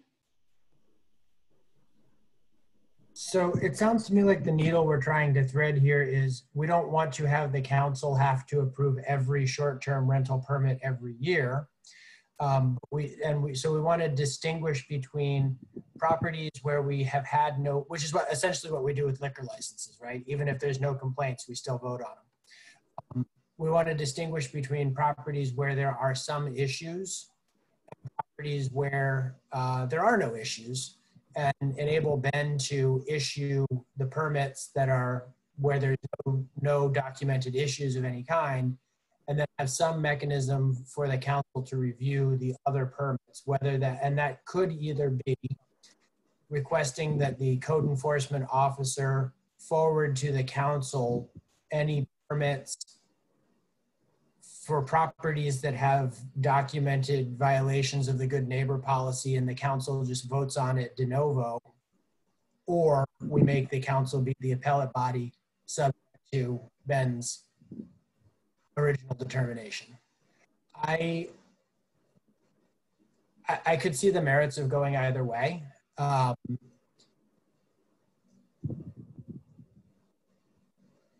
but I think that's the question you know, before us. Valerie? Um, I think as we're talking about this, that we need to add in the enforcement of um, what Mr. Howard was talking about earlier. Um, if someone says that they are a primary owner of the home and they aren't, how are we enforcing that also? True, it's a felony, but what's the process? Is that also going to be something that Ben says this has happened and then we send it to the district attorney or does it come before the council? I think we need to talk about enforcement of that also and make that um, a part of this discussion. I mean, I think in that case, if the police had sufficient evidence to charge, they could just charge and then it would go to the district attorney for prosecution, right? Um, I don't know Ben, Maureen, Valerie, if anyone wants to respond to that. Well, it, we don't have anything written in as a procedure though. So Ben might, Ben, does he know that that's his position, that he's supposed to contact the police? The police are supposed to contact the DA or complaints um, filed, charges are filed. I think we need to put in there some sort of process. Right. I don't know what that process would look like. I would talk to the, the, the tax assessor and the chief of police and let them know my concern, and that's as far as I would take it.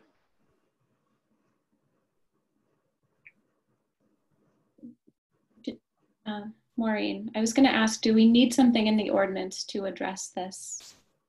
Well, I mean, we can we can add as much to the ordinance as you want to add, but um, if some if Ben issues a permit based on um, someone asserting that they have they are a primary resident in Cape Elizabeth, he's going to check with the assessor. The assessor is going to check the homestead exemption.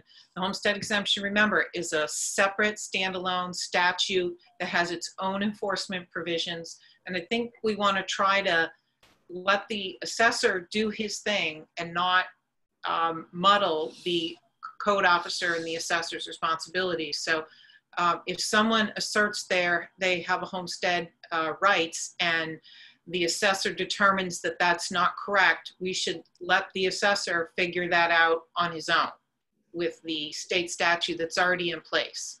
And then um, Ben would handle the short-term rental permit. If he's issued a permit and then, you know, correct me if I'm wrong, but if you've issued a permit based on someone's assertion that their primary residence is in Cape Elizabeth and he's notified by the code, the assessor that that is no longer the case or that never was the case, uh, I would assume at that point Ben would revoke the short-term rental permit.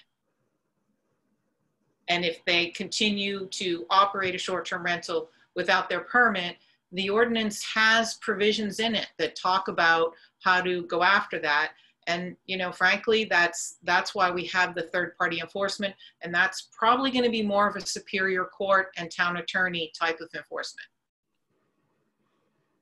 matt did you have something to add to that yeah, just as far as verification of ownership, uh, there there's a litmus test that also comes. It, it's not as easy as just signing it, signing the homestead exemption. There are other ways to also that the assessor does to verify if it's their primary residence. They'll look at, you know, they, the person certifies that this is their, they're, they're filing as a main resident, and then they're also saying on their driver's license, this is their home address.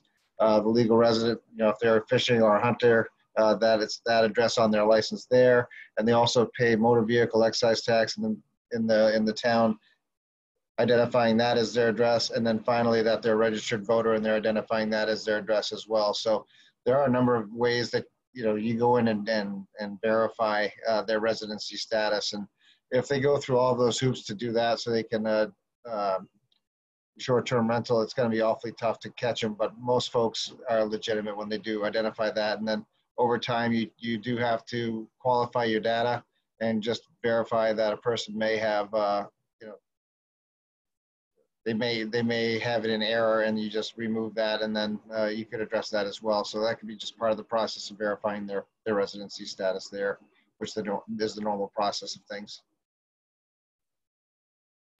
Okay, so it, it sounds like that is taken care of and more just a matter of education, making sure that everyone in the process knows their role, but it, we don't need to add to the ordinance. Is that accurate? Just, just head nods. Yeah, for Maureen and Matt. Okay. Um, so Jamie, did you want to get back to um, the discussion of um, review? Uh, yeah, I do. Uh, I a question of clarification. The current um, ordinance does not allow for an appeals opportunity. Is that correct? No, that's not correct, or no, you you can't? Maureen, you can go ahead. Ben, please correct me, but any decision that Ben makes under the zoning ordinance, it can be taken to the zoning board as an administrative appeal. So people always have an opportunity to appeal. Is that correct? That's correct. So we would have to specifically exempt this process from the existing process for an appeal to come to the town council? Uh, well, there's this, that's section eight, talks about the appeal going, I mean, that it says Ben makes the de- decision and then it goes to the zoning board. If you make a determination that you want it to go to the council, then I'll just revise that subsection eight. So since this uh, or, current ordinance went into effect in 2012, have there been any administrative appeals of Ben's decision to issue a permit to any short-term rental operator?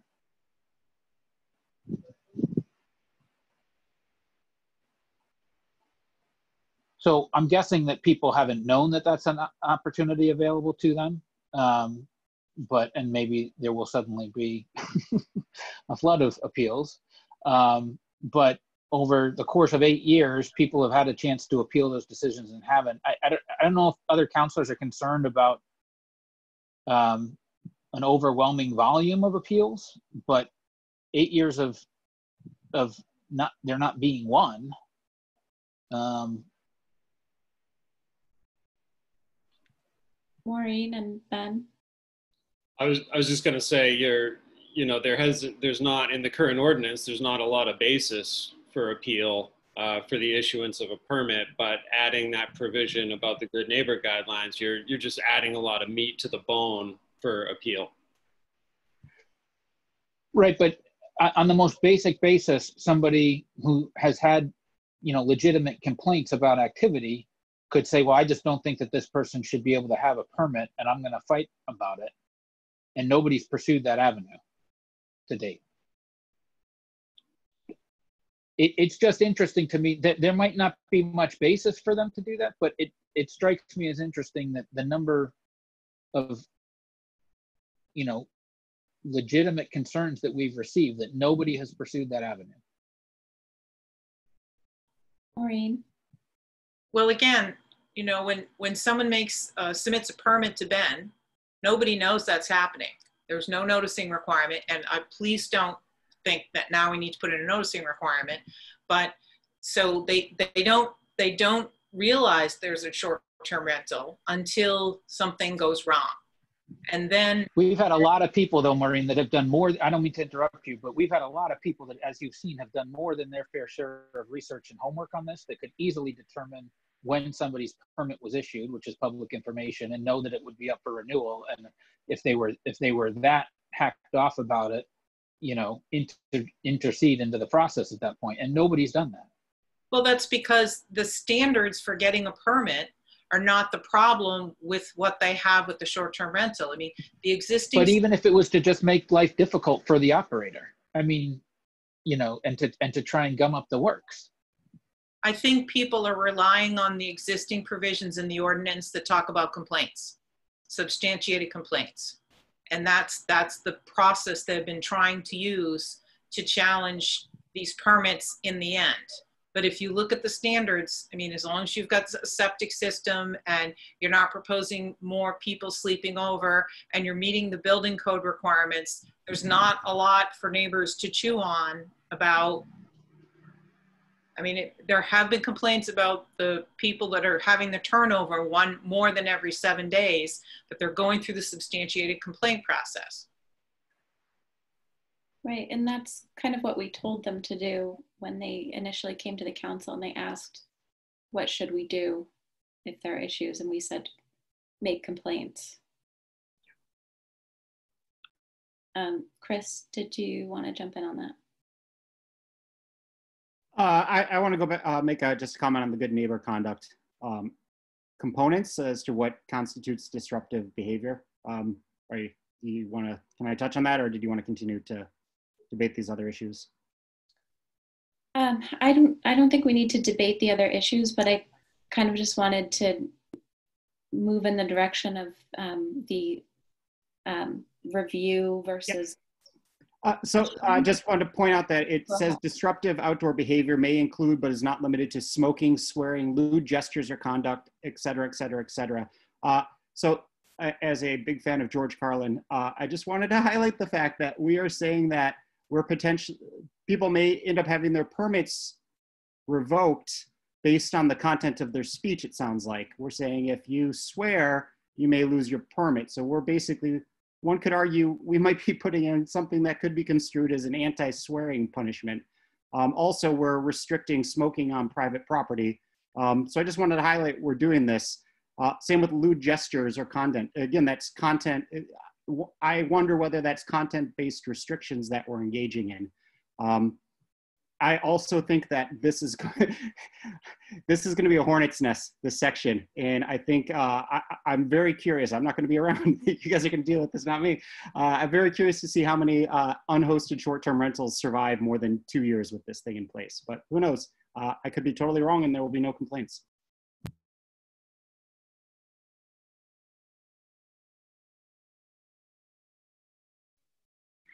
Um, sorry, I'm just trying to manage two documents here. Um, I see your point. It looks like Valerie, did you have a response to that? I, I just want to say that um, it's getting really late and we have a lot of people here um, that are here regarding the um, diversity committee. We also have people here regarding the solar, um, our energy committee. And it sounds like we may need to have more discussion around um, this good neighbor policy that Chris just brought up. What, what are your thoughts, um, Madam Chair? Yeah, I, I noticed it's definitely getting late and we have um, another big item on the workshop agenda. Um, which is a little more time sensitive. So I would be fine with scheduling another workshop on the short term rentals, but I also feel like we could be pretty close to consensus. So maybe let's just take a, a quick poll on um, who, just first of all, who's, who's in favor of um, changing the process of review as opposed to leaving it as it's proposed in, okay, so this would be entering into that discussion about changing the review process and changing that good neighbor conduct paragraph, either one of those, who feels like we need to discuss that more and change it. So Valerie, Caitlin, Jeremy, Chris. Um, okay. Uh, generally, show of hands on who thinks we should maybe continue this discussion another evening or plow through. We plow through show of hands. Matt? I'm not voting, Madam Chair. I, I, I had a, a question uh, or something that the council may want to consider. Is this uh, perhaps you, you, you have uh, the finish line in many ways in sight. Uh, perhaps it could be an opportunity to refer this to the planning board and get uh, some of their opinion points on the good neighbor policy as well to come back for the council to consider. And then you can have that as additional uh, therapy, if you will, when you do when you go forward to discuss it again, because it will come back to the council with their recommendations and review, and then you can have that as additional. Uh, you know, some some things as it, you are getting late, uh, it's difficult to to identify all those issues, but you've really circled uh, many of the many of the parts on the game board, so to speak, to uh, to keep moving forward. So that might be an additional strategy uh, for the council to consider. Um, I hear that, and I think though at the last meeting, I can't remember who had said it, but there was sort of a sense that we should send to the planning board what we intend to be the ordinance. Um, so I, I think that might be a good idea for these two remaining issues. Um, Jeremy? Um, yeah, uh, with respect, I, I feel like the, the issues on the, the daily rental caps um, was a more substantive issue than, than the, I, this. I, I think we can pose this as a question to the planning board around the process, and in particular, as it's a process that the planning board is involved with as regards to other land use regulations. Um, I would value their input on this question. I think this ordinance is inside the five yard line um, in terms of where I'd like to see it. And I'm okay to, um, I'm, I, I'm, more than glad to forward it to the planning board and just highlight this is a question where we would value their, their input. Does anyone disagree with sending what we have to the planning board and closing out with this, this discussion? Raise hand now if you disagree. Okay, I, I, I know, Chris. Um, all right, so we will close this discussion and move on to the next one, which is the IDEA committee. Um, okay, so when we last met, we were sort of reworking the charge for the IDEA committee. Um, and I know we do, as Valerie mentioned, have a number of attendees who are here on this specific issue. Um, so I'd like to open the floor for any public comment. Um, please use the raise hand feature on Zoom. Um, please do identify yourself by name and address and try to limit your comments to about three minutes per person. Um, Paul, go ahead. Matt will unmute and then you, you have to unmute yourself. Unmuted. Hi. Can you hear me? Yes. Good. Uh, so I will propose another name for the committee and uh, my reasoning behind that. I'll preface my remark by it's my remarks aren't aren't long. I'll preface my my remark by noting a belief that it matters how we publicly identify what we are uh, as a beacon for what we do. So First, the committee's objective at their root, uh, objectives at their root are not designed to manifest on the level of ideas. Ideas are immaterial. Actions exist on the ground affecting material reality. So the first impression of idea with two A's is misleading in terms of focus and objective, I'd argue. Second, in part because this is to be a civic body, I believe the name ought to be located in a municipal milieu. Therefore, I propose the name Civil Rights Committee to remedy those concerns. This proposed name has been part of recent Cape community conversation and has community support. I'll give extra emphasis to this next point as it was raised by another community member at another meeting and appeared to us to be swiftly dismissed as inconsequential. Civil Rights Committee would avoid confusion and conflation with the Individuals with Disabilities Education Act. More so, it avoids any perception or, of co-optation or misappropriation of that, or, of that act's name, which is an optics matter so easily avoided. Idea with 1A, dealing with social marginalization, education, and political presence should have its own name unconfused with idea with two A's dealing with marginalization, education, and political presence. The name Civil Rights Committee doesn't require learning what it is by expanding an acronym, it is readily understandable to the public and the press, locates, locates its fundamental purpose, and is inspirationally associated with empowerment and the arc of justice and appropriately identifies it in the national history you are making tonight on the local level. Thank you for your serious and thoughtful consideration of this proposal. Thank you. Um, anyone else from the public with a comment on this item? Um, Audra?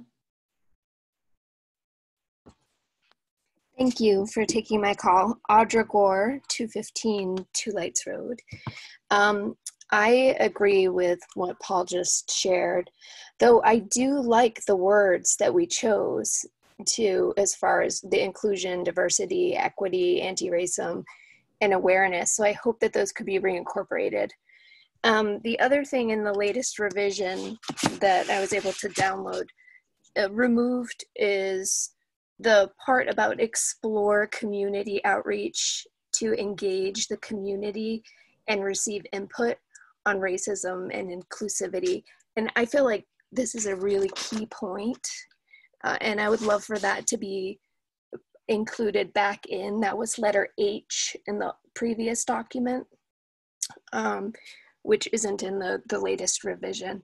But I hope that this moves forward tonight and that a yes vote can be had.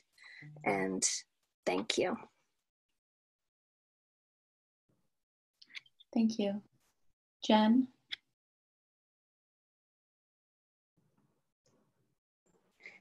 Thank you again for taking your time to talk this through with us. 7 Brentwood Road, Cape Elizabeth, Jen McVeigh. And I also wanted to echo the same um, sentiment as Paul is creating this as a civil rights committee. And having heard what Audra just said too, I think a lot of those key components need to be considered in this. And I think a lot of that will happen as we develop the ad hoc committee. But I think our primary goal is to make sure that this does not get pushed out any further than tonight because we really need to start moving forward with this. So again, thank you for tabling the short-term rentals to get to us. we appreciate it. Thank you. Um, and thank you everyone for your patience. I know that was a long discussion we had ahead of this one. Um, anyone else from the public um, with a comment on this item? Uh, Paul? Hi, I just wanted to say Paul Seidman, 21 Oakview Drive. Thanks. Thank you. Okay. Um, I don't see any other hand. Oh, yes, John.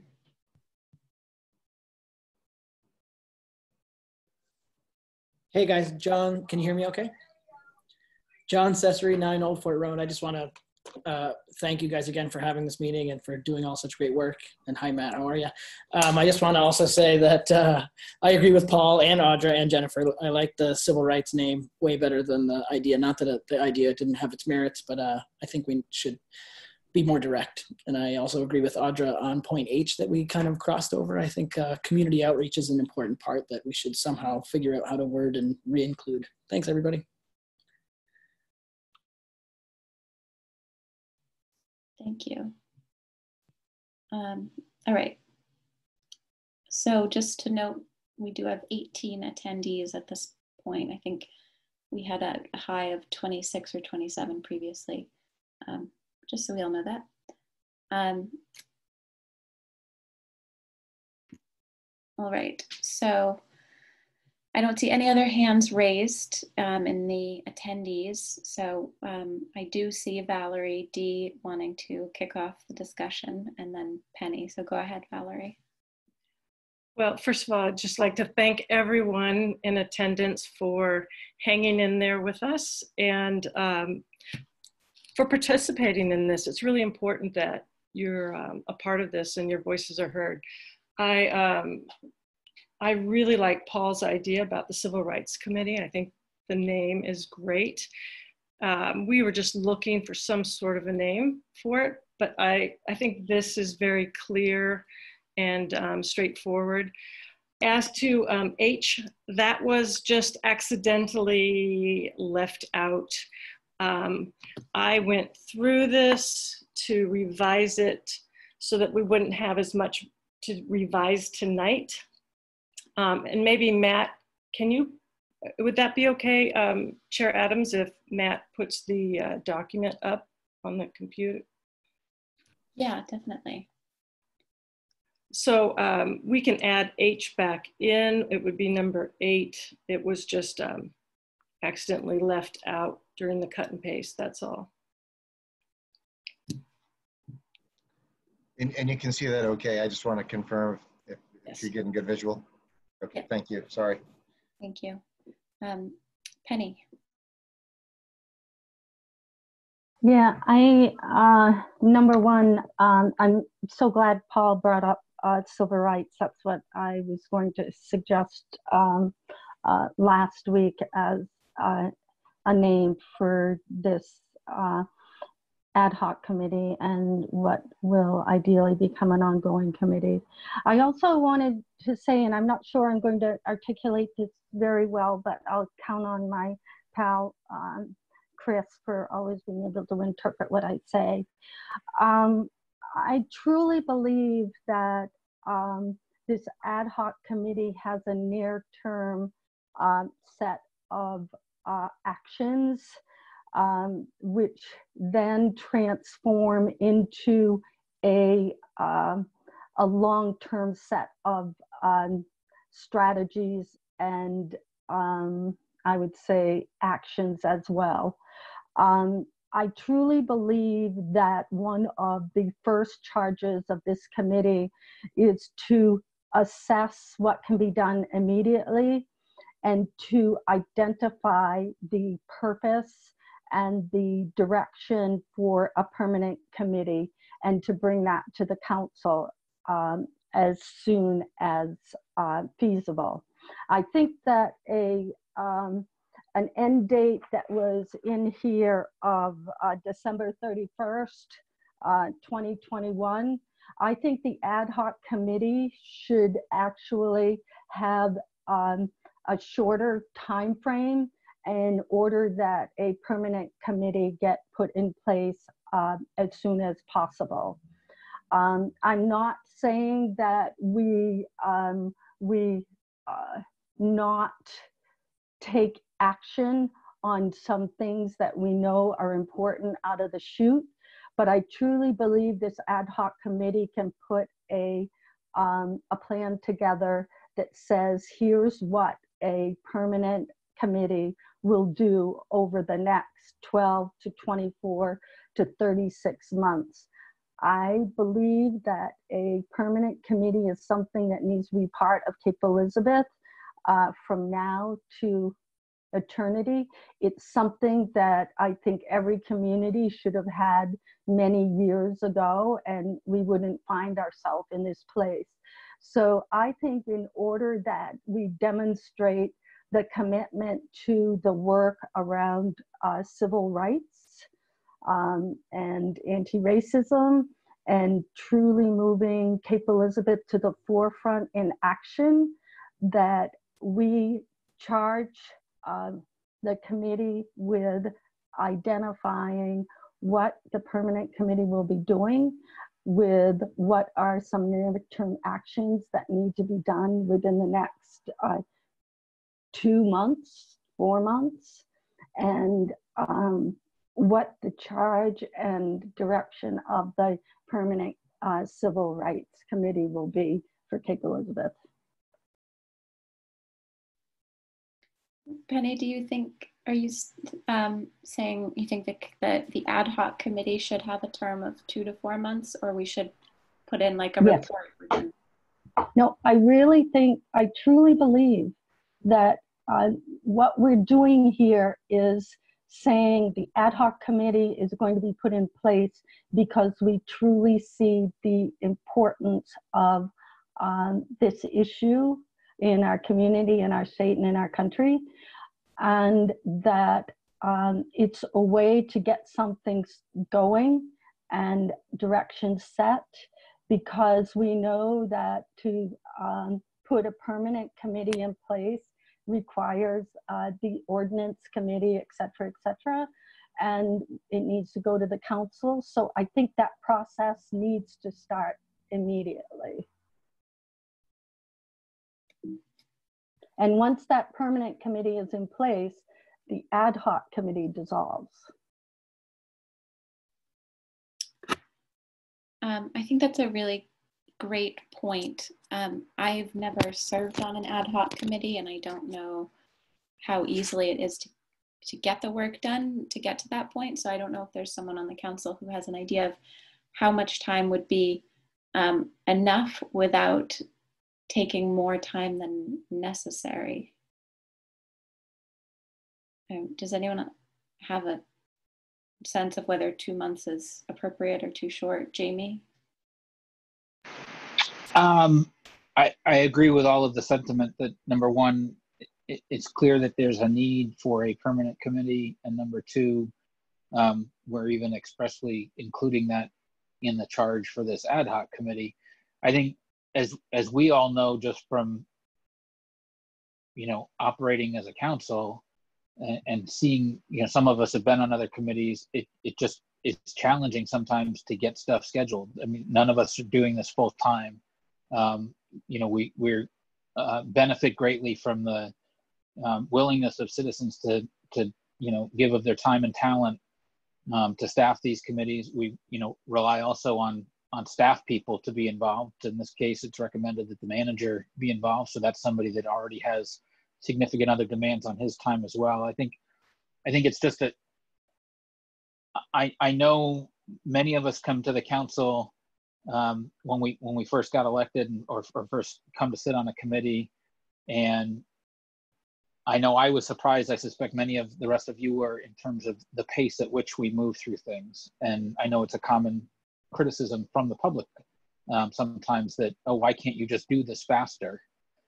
And the fact of the matter is, is that sometimes even even as fast as we're able to do something is just not fast enough for people. So um, I suspect we would need more than two to four months just on the basis of scheduling. Um, I, I, think based on interest in some of this um, work, uh, that there are likely to be um, people who may have a lot of other demands on their time, uh, people that are, uh, you know, parents of young children, uh, uh, so on and so forth. So I think, I think it'll be difficult to get people meeting and and get all that work done in a super compressed amount of time.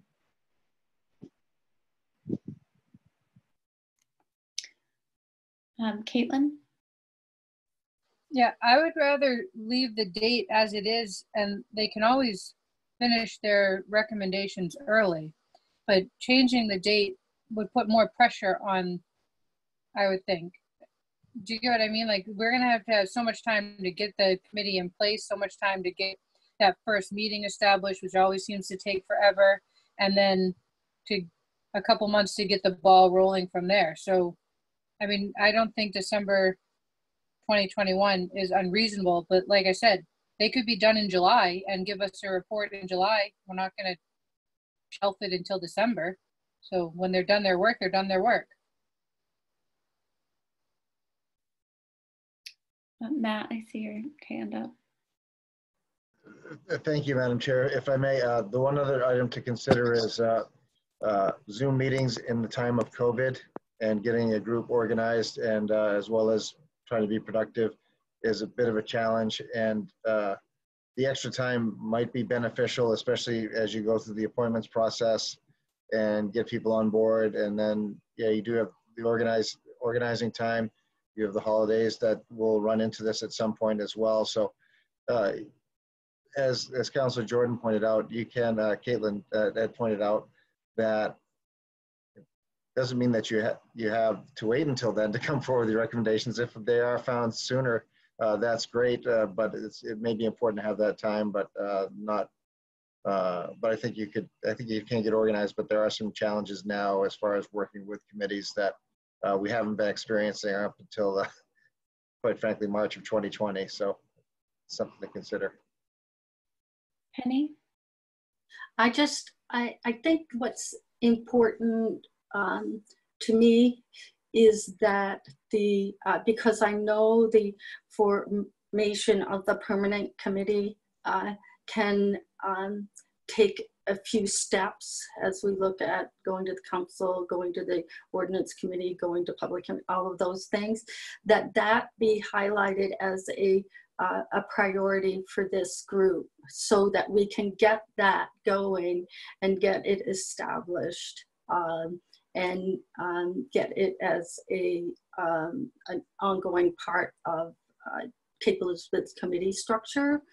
Um, I, I also know that policy reviews can take, you can get um, enmeshed in that. And I think there's a, um, there are some that we want to look at out of, out of the chute, but there are others that go into a plan that the permanent committee may look at because you can't do everything at once. And public awareness is another thing that's uh, critical um, at at the onset. So those are the types of things I think about that this ad hoc committee is going to be uh, um, having almost a, a, a dual uh, focus at the onset. And one is near term, one is long term, and establishing that long term uh, vision and direction is key from my perspective. So whether I will, I will agree with my peers, Jamie and Caitlin, and say, yeah, you're probably right, because I'm usually overly optimistic. Um, so keep the date there. But I think we need to be vigilant about saying how critically important we feel this is at this point and not let it fall along the wayside and, and lose momentum because it's important. Valerie and then Chris. I, I agree, um, Penny. Um, but one of the things I want to point out is the people that came to attended our meeting and the people I've talked to have amazing energy and passion about this. They're not going to let it languish. Um, it's going to happen. They're going to push this through.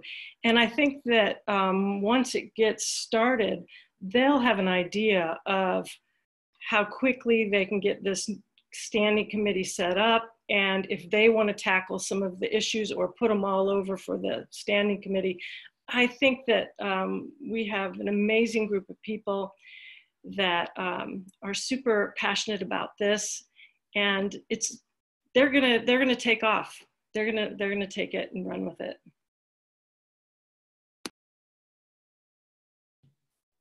Chris, go ahead.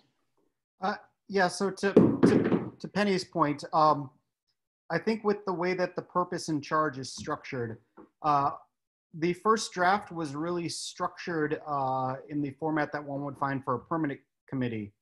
And now this is, that, that structure has been transformed into this, uh, into the ad hoc committee format. But the duties section has basically been carried over from the, uh, the permanent committee structure. And I, I think the issue that Penny is getting at is that the duties are very broad because it's a here's your long term what you're going to be doing as one would see in a permanent committee. Uh, but per, but uh, the question is if it's an ad hoc committee they're supposed to be given like a here's your task here's the work product you're supposed to be generating with more specific guidance of here's what we want from you and we want it in in the near term.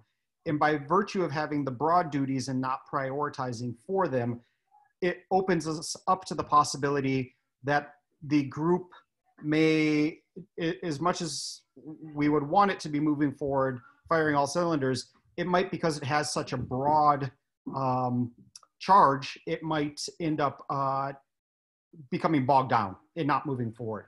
It, and it stinks because I understand how it was like, oh, we want to get to the meat and potatoes. We want to get to the, the substantive stuff. But to Penny's point, it is perhaps what the charge should be for the ad hoc committee. And I totally understand that I'm saying, oh, we're just going to make everything take forever. But that's not the intent. It's just government stinks. It's, but it's the best thing we got. It's better than everything else we've tried. Things move slow, and there's a reason they move slow, and it's to ensure everyone has an opportunity to have a voice. It's to ensure that everyone is uh, included and given an opportunity to participate. And uh, when you do that with 10,000 people, things move slow. Uh, but per, it, perhaps, to Penny's point, would be the charge is give us the give us the explicit uh, like standing committee. We want the standing committee description laid out with everything it's going to do, uh, and that's your initial charge that we're giving to you. Only once you've accomplished that do you move on to the other stuff. But it could be that everyone would say, no, no, no, no, no. We want to get into meat and potatoes now. Don't worry about that. But I am concerned that things then get bogged down and nothing is accomplished. And to uh, Paul's point, I, I I was scratching my head when I saw the IDEA thing. I like something about this, but I, I, I think, uh, yeah, the Americans with Disabilities Act, I studied that in college. You know, ah, that's, that's where it was coming from. So I, I totally am on board with going the other direction for the name. Uh, Valerie, did you have your hand still up or is it a new? New. I was just going to respond to, um, to Chris and Penny. Um, I think that this began as a, a permanent committee And we started setting it up that way and then thought, oh, it should be an ad hoc because the committee should decide what the name is and what the what they want to do and bring it back to the council instead of the council deciding what they should do. So that's why it's a little um, confusing. I just sort of copied it all over and added some of that in and thought that tonight in our um, workshop we'd talk about the charge and if we want to tweak that so that we get this really streamlined and they're off and running so um, I, I agree. Maybe we reduce all of the duties, create it as um, a charge to set up a committee, standing committee. Penny? Um, I here's the way I look at it because I don't want to lose sight of near-term immediate action.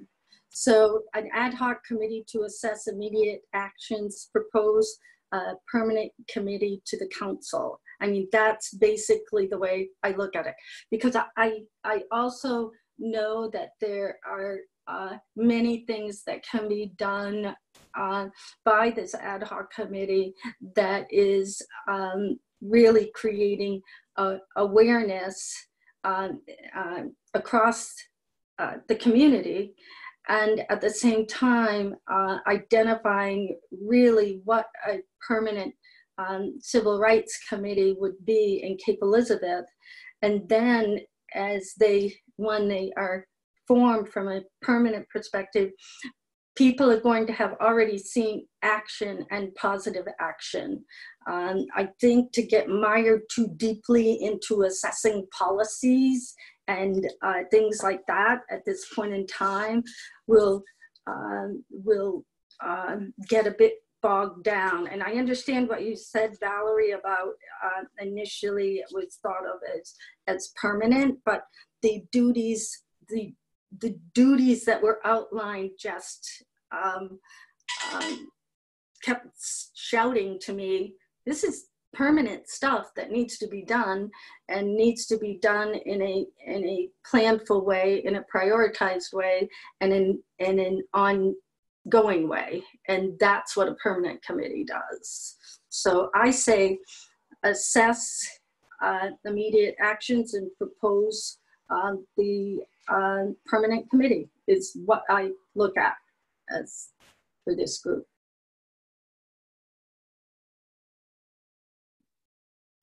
Um, Penny, I just wanted to note what you said, and I only got to propose, assess immediate actions and propose.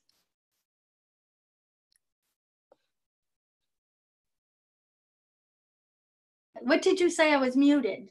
Oh, assess immediate actions and propose. What was the? Uh, and propose a permanent committee um, to the council. A, a permanent. Um, that's all I wrote. That was my little statement to myself as to what I thought the purpose of the committee was.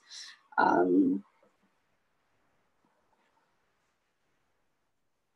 um, yeah, um, it makes sense, Valerie, what you said about the starting as a permanent committee. Now looking at it, um, generally, what do and can you just use the raise hand feature because I can't see everyone when I have the screen share up um, just generally, um, councilors raise hands who, who's in support of reducing the duties um, down to more of an ad hoc style. Um, maybe something along the lines of what Penny proposed, maybe a little more. So Chris, Caitlin, Valerie, Jeremy, Penny. Um, okay. Uh, Jamie. I'm just wondering if there was any thought to go in the other direction and just advancing to a standing committee. I, I, it, it strikes me as odd that out of the gate we're already talking about this need for a permanent standing committee and uh, that being the very first action to take it seems like just as much time could be spent invested in the work to go through the process to stand up that committee. I, I don't know. I, I, So, I, I mean, my, not, I'm, I'm not clear what, what time we're actually saving, I guess is the point. my concern would be that um, we are an all council and obviously you know all coming from our points of privilege that the committee itself the standing committee would be more meaningful if it was created by the community and not us. I don't know what other people think about that but um, that's kind of the sense that i'm feeling. Uh, jeremy? Okay, okay, uh, can I just, I'm, I'm not sure what you mean by c- not created by, I mean, we, we'd still be the ones managing the appointments process and uh, I'm not, I'm not sure I follow. that we if we give develop an ad hoc commu- committee to then advise on creating the permanent committee those ideas about what that permanent committee needs to do and what the issues are and you know what what training is needed that's that's coming from the community and not from us. So there are obviously things that we're going to be blind to that this committee might be better able to delve into and you know it seems like it would be a, a richer and frankly a more anti-racist approach than us sort of saying top down this is the committee that needs to happen. Um, there, there are hands and hands on the side and, and hands in the view so caitlin had her hand up um, and then Penny, and then Valerie, and Jeremy was waving his hand. So I'm going to go to Caitlin first. Yay. Um, no, I was going to say the exact same thing. I think we need to go to the ad hoc committee so that they can develop the the purpose and the meat of what the standing committee is going to be because it shouldn't be our place to be trying to figure that out. It will take even longer, I feel, in the end than let than doing it this way. It won't do it justice.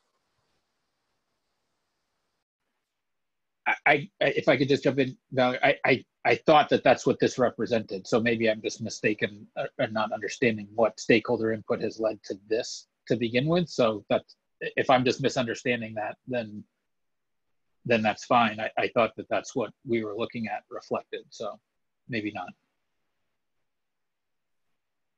You mean stakeholder input to develop this particular charge? and and what the focus would be and the thing yeah so the, you know the i thought that there had been a sort of cooperative uh, stakeholder process that led to this being the recommendation to begin with it sounded like a, a lot of the folks that have a vested interest in this had had been involved in a participatory way so Um, did Jeremy has his hand up? I want to go to either you or Valerie. Um, Valerie was Go ahead, Jeremy, and then I and then I'll. so many hands. Um, I was just going to say, I so I um, I think th- there was a, a good faith effort, and I think we did a, a good job of reaching out to people and getting some community input on this charge. Um, I but at the same time, I think also before we commit to a, I mean, obviously we could change the charge for a permanent committee, but uh, before we commit to a permanent committee, I think there's a mix of things that that committee could do some of which are on this list, you know, policy review, sort of tasks to recommend policies to the council. But there may also be other things that that folks would like to bring forward in in a more standing role, such as some type of oversight, um, you know, uh, oms, ombudsman type role or something like that. Um, and, I- and I think that the the permanent committee charge would benefit from some additional discussion from folks who are more involved in and have more knowledge and understanding about the issues around racism than, than I do.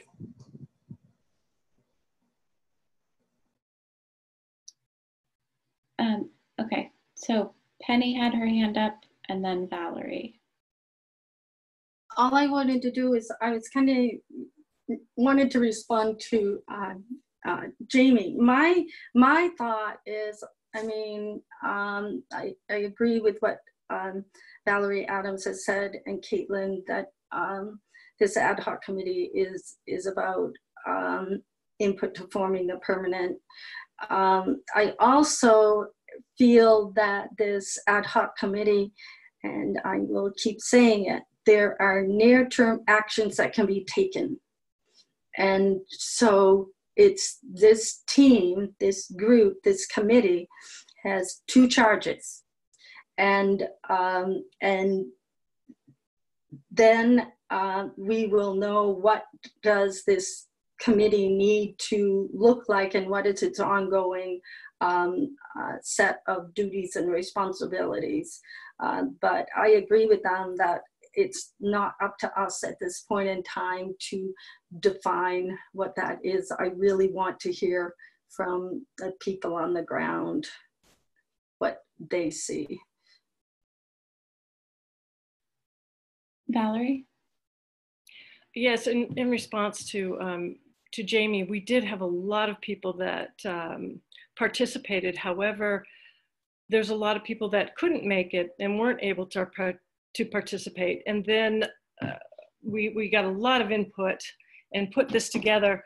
But then it became a workshop like it is now, where it was us discussing it, putting it to putting in all the words, and it wasn't a back and forth, which an ad hoc committee would have with each other. They'd have more of a back and forth and a discussion around it. So I really think that um, Penny's idea is right on with getting this commit this ad hoc committee together. They can decide what the name is. They can just get everything set up and have the two charges. That really makes sense. And I think that it'll happen quickly. And and I also understand Jamie why take the other step when we can just set up a, a committee right now? But I think it'll be more um, uh, more real to the community and to the people of community if they're the ones creating it rather than us establishing it. So, um, and more, uh, so I'd like to propose that we do that, um, set up the two charges as Penny suggested, and um, change the name to um, Civil Rights Committee and allow um, the ad hoc committee to decide the name um, going forward for the standing committee.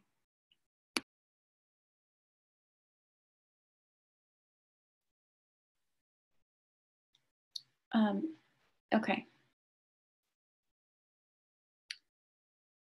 So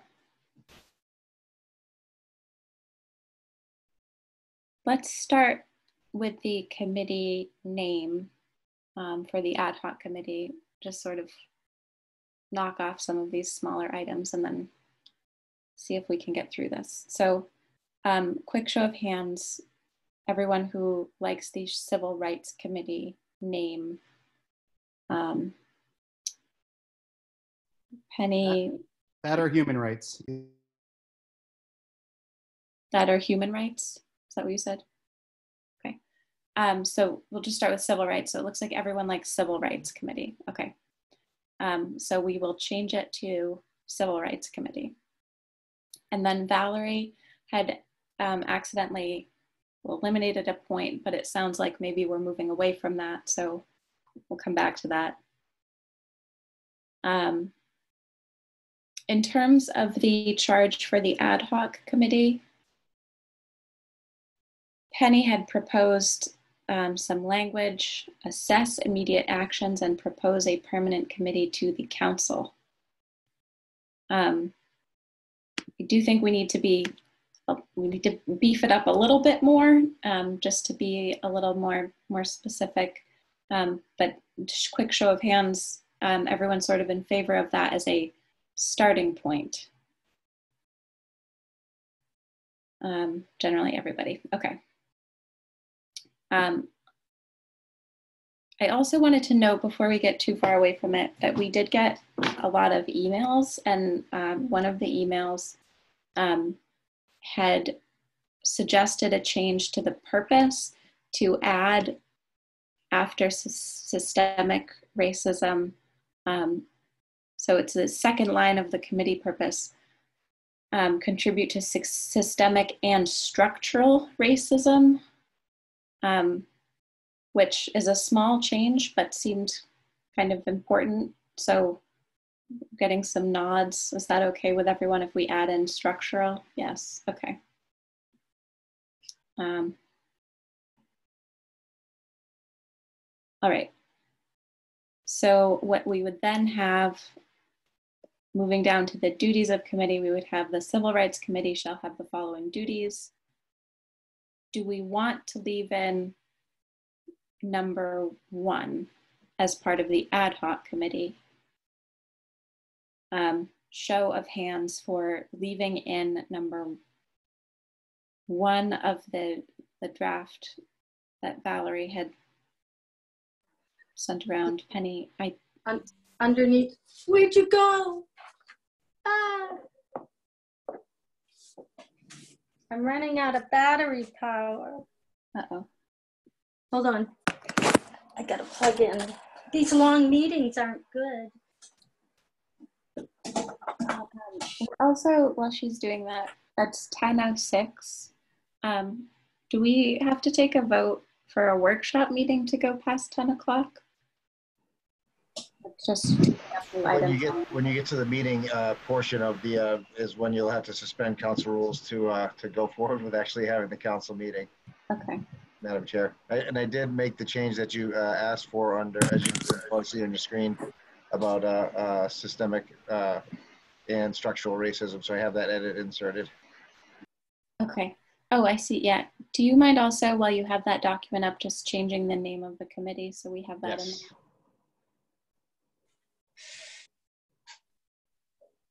Um,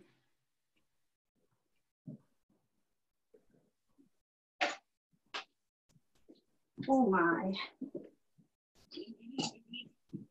did anyone else have a thought while, while Penny's? You back?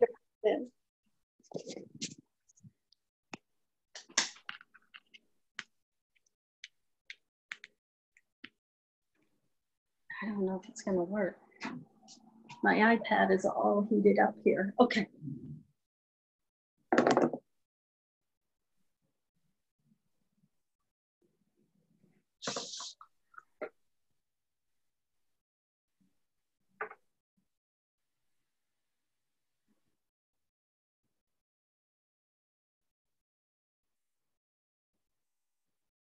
Penny, I think you're muted. Did you have a? Yep. Okay, here I am.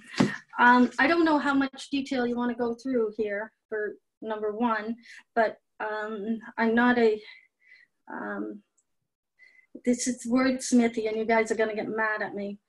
Um, interface, people, people don't interface. I learned that a long time ago. Um, but we can identify and pursue opportunities for collaboration uh, with another committee. Uh, so with the school committee. So I say identify and pursue. I got I got a bunch of wordsmithy kind of things that I'm more than willing to um, kind of send along to somebody, but that was mine on um, the first one. Okay. Well, it sounds like we might be sort of moving in the direction of taking out a lot of these.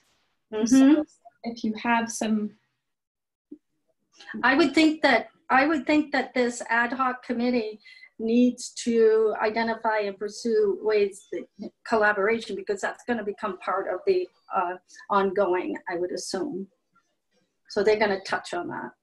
yeah. Um, okay. So identify and pursue opportunities for collaboration. Um, Jamie? I, I'm just, I- I've just been confused based on what Penny, the direction you were heading in before. Are, are not two and three basically it, and then everything else that follows will be the recommendation for the standing committee? Right. So that's what I was saying is that do, based on that, do we want to leave in number one, which is which could go either way. That could be something for the ad hoc or be more of a long. It's going it's going to fall into the definition of the ongoing committee as one of its responsibilities. Correct. Is it also something that we, because we're now paring down what the ad hoc committee does, so that it's essentially establishing com- the committee? Okay, I see what you're saying. Yes. Want to keep that one in? for an ad hoc committee. My poor iPad is overheating. Yeah, my computer's doing the same. Um, so just general show of hands, um, do we want to leave in item number one as part of the ad hoc committee? Um, Zoom, Zoom hands, please. Jamie, Jeremy. Justin. Sorry, my hand was still raised. I, I, I, I my, I, I thought we were just going to two and three. So I, I maybe flip it around the other way to say if, if anyone wants to keep anything other than two and three, voice in on what you want to keep. Yeah, that sounds good because I think that is the direction we're heading in. Um, so if anyone has any comment on keeping in anything other than two and three, which we can wordsmith if we need to, hand up. Okay, Jeremy, go ahead. I just want to say, I think there is some value in keeping one in because the school board is going through a similar process at the same time and there may be opportunities for those two groups as they're developing the ideas for a permanent community committee to be talking with each other and exploring how that moves forward collaboratively in the future. If it comes out i'm fine with that. I think you could say it's implicit but since these two processes are moving on moving along in parallel i think it makes some sense to reference them but I could go way. Um, do, do you think maybe it makes some sense to uh, reference that? Well, I was going to say to incorporate it into number two, but I think if we do that, then anyone could argue that we could incorporate anything into that as a, an including this, including that. Um, So, and anybody agree with Jeremy that we want to keep one or incorporate it in some way? No. Okay. So I think we're just down to two and three. Um, does everyone agree with the language of two and three? If someone does not agree with the language, please go ahead and propose alternative language. Chris. It sounds like we it sounds like we all agree that we don't want a recommendation on establishment of a standing committee. It sounds like we all agree that we want an establishment of a standing committee. So I think what we're really after, and I don't have the uh, proposed language, is that they recommend a charge for a standing committee. Um, yeah. Okay, so Penny had suggested assess immediate actions and propose a permanent committee to the council. So what if we say, um, number two, assess immediate actions and propose a permanent committee to the council, including the naming of the standing committee and the charge, period. And we take out the first pair, the first sentence of two. Madam Chair, could I get you to just fill in after I have Ann there? I'm sorry. Um, I, propose a permanent committee to the council, um, including the naming of the committee and the charge.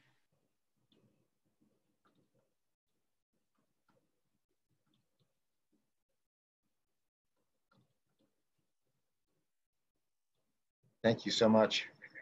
Um, Chris. Uh, uh, I still think it's too verbose. I would cut the assess immediate actions and make it uh, straightforward with, uh, and I don't want them to propose the, and I, I don't mean to quibble, but I, I, it's the, I want you to hand us a ready to go charge that uh, adheres to that based on your kind of assessment and review, and I guess that's what the assess immediate actions part is.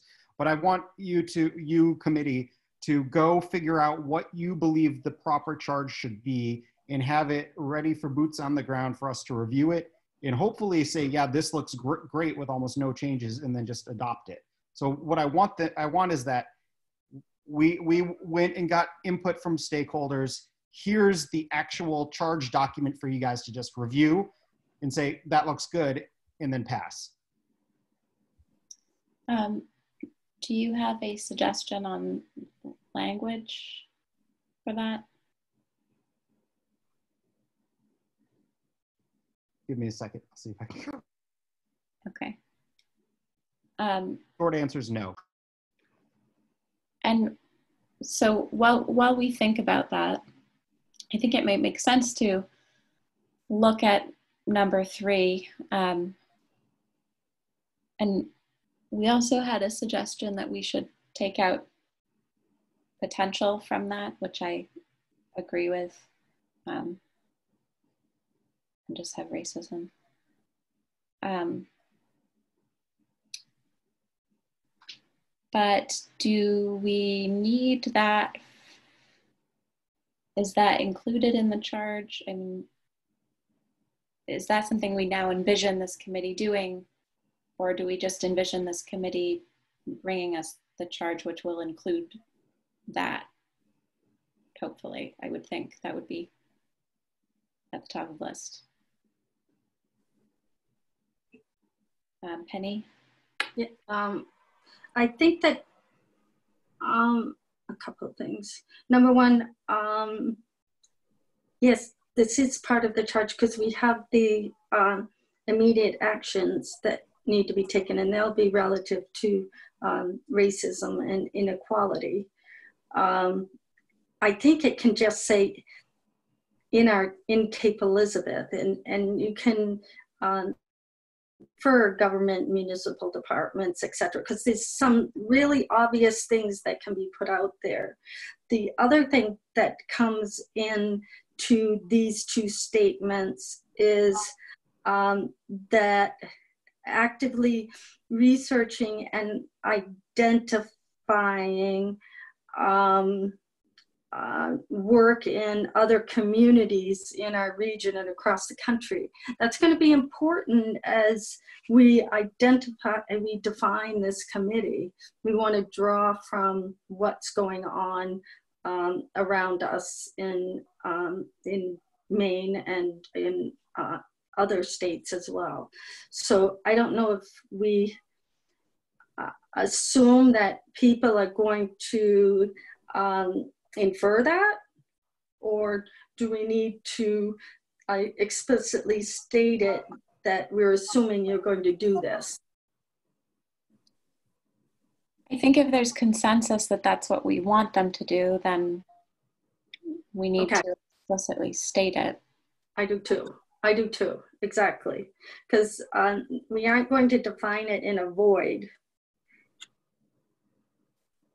Um, Chris, did you have a response to that or were, were you No, uh, I had proposed language. Um, for, for two? yeah. Okay. Um, thoughts on Penny's thought on three? Um, who is in support of keeping in, or I guess, does anyone else think that we need to change three in some way? No. Okay. So Except for taking out potential, correct? except for taking out potential, which Okay, good. is out. Um, okay, so sounds like people are comfortable leaving three as is. Um, for two, Chris, do you want to take a I'll- stab at language? I'm I'm gonna say this out loud, so no need to try to capture any of it. Uh, I'm gonna say it once through, and if people like this direction, then we would change the words, but don't start typing until after it.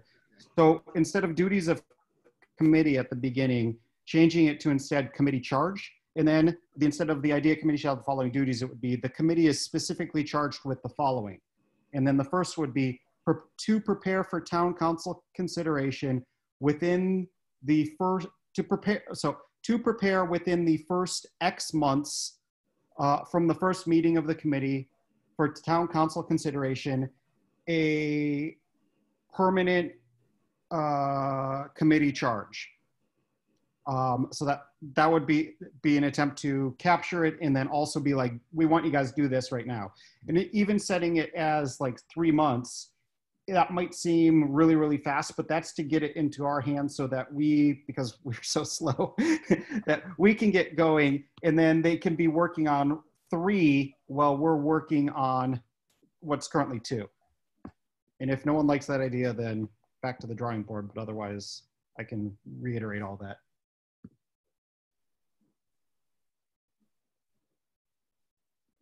Uh, you're on mute. Thank you. Um, I like that idea. um, show of hands in favor of Chris's proposal. Penny, Jeremy.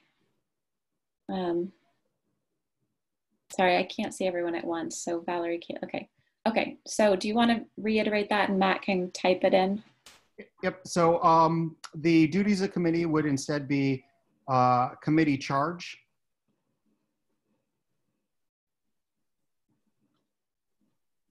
And that's to mirror the committee purpose structure from the, uh, the heading above. It would be the committee, or so Civil Rights Committee, is specifically charged with the following.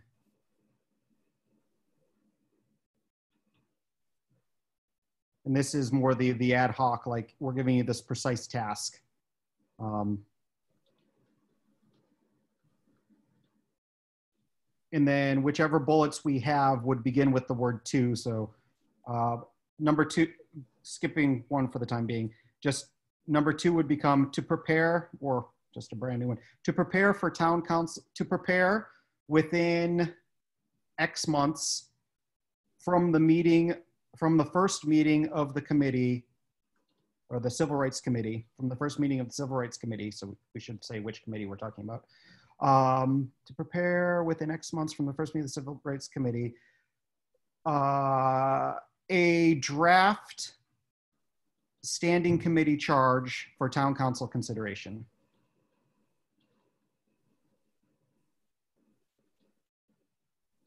And then number three, even though we said not change it, you would stick two in front of advise.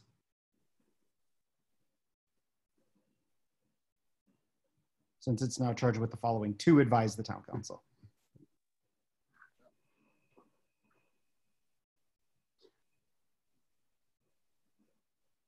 Okay. Um,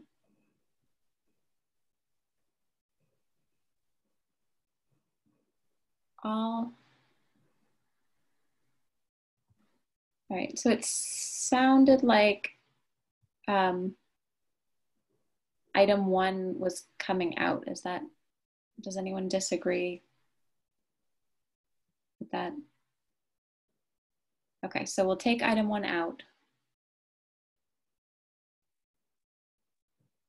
Two becomes one, one and then, and then we take out everything else below that, that, and anyone jump in if it seems like this was not the consensus, but this is what I'm getting.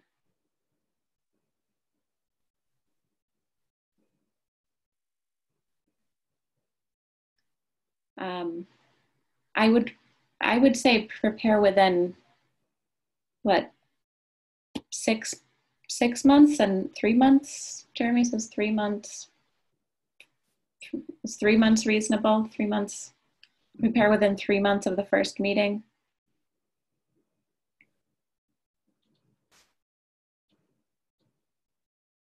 Okay. Um, and then in terms of the funding and staff resources needed section, um, given that this is an ad hoc committee, I, I don't know anything about this sort of thing. So Valerie, um, you, you drafted this and probably know a whole lot more. Is that still appropriate under the circumstances? No, I don't believe it is because basically what they're doing is um, putting together a standing committee uh, this money, we were thinking that they would um, possibly look at training, do some other things. So, Matt, um, what are your thoughts on will they need um, will they need money or funds to proceed? I don't think so. If I, if I may, Madam Chair, if you're looking at a, at a three month window, uh, it may be wise to, I, think you could forego this at this point in time, but as they get organized, if there is the uh, need for funding to advance uh, advance the charge, we could always come back. I do have, as you may recall from our budget, we do have funding this year put aside for special uh, special committees, uh, or we could come back and say we are going to need uh, some funding, and uh, I could come back to the council to uh, ask for that at that point in time. Penny?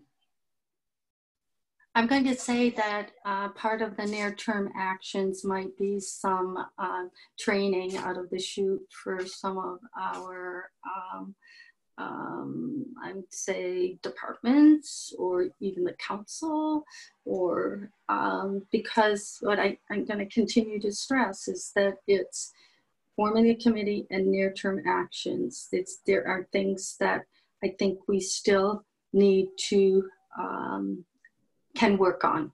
Not that it's a lot, a lot of money, but Matt, if we say that we can say to this ad hoc committee that if they identify a near-term action that requires funding, that um, you have the discretion of X amount of dollars, or do you have to come to the council if we don't allocate any dollars here? Well, uh, to they're kind of kind of two different avenues. I know it kind of sounds funny, uh, but uh, on one side I've got staff development where I may, may uh, you know, that's a whole separate entity. I, I think I could make it work by coming back to the council to say I need uh, X amount of dollars to accomplish that. At this point, to just hang a number is is it's it's speculative. Where if I had something, you know, similar to the uh, the training that we've been availing ourselves of at uh, through the MMA with some of the workshops that they've had there uh, lately. Uh, as I know, like that's that's come out of different training that we've had uh, towards the end of the year.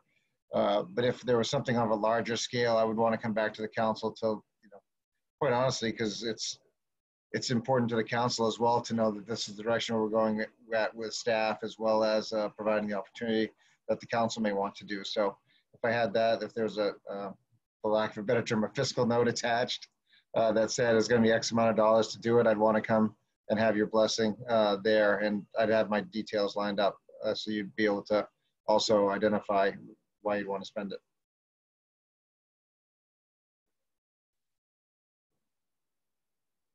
Okay. Uh, Chris, yes. And he had her hand up first. Oh, no, it's down. okay. Um, just, uh, different topic, but to go up to, if Matt, if you could go to the top paragraph. Yes, sir. I'll be right there. Um, I would suggest that we take the sentence, one town councilor shall serve as a non-voting ex officio member of the committee and up to two student representatives from Cape Elizabeth High School and or Cape Elizabeth Middle School shall serve as non-voting members to be elected or appointed by the school. First, all, I would take that and I would stick it right after the first sentence and I would precede it with the phrase in addition to clarify that those individuals are not part of the seven that are uh, appointed because otherwise it leaves ambiguity as to what we're intending there. Um, and then on top of that, if you look at the uh, two non-voting stu student representatives to the school board, uh, there's this very long drawn out um, detailed process for their appointment um, where they do like um, there's like a candidates night at the school and then the school votes and they have to go through this interview process and it's a very prolonged uh, process that seemed like it would be applicable here, but at the same time, that's like a year long process that occurs, which doesn't seem applicable here. So instead of having them elected or appointed by the school, I would just have the appointments committee appoint them. Um, I totally see the rationale behind elected or appointed by the school, but because this is, and that would make sense for the permanent one and have them follow a process akin to what these happens for the school board uh, liaisons. But for this, I would just have the appointments committee interview and appoint.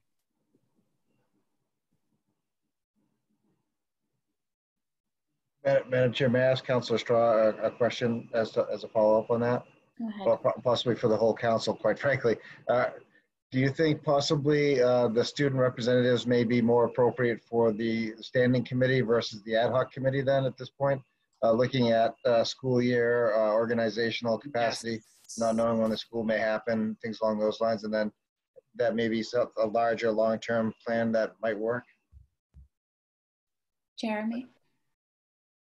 Sorry, I, um, I, I, I can see the logic of that. I also am recognizing that we have a lot of young people who've been very active in this space over the last few months and um, providing an opportunity for some of them who may not yet be 18 years of old to have some input into the structure of this permanent committee, I think would be frankly beneficial.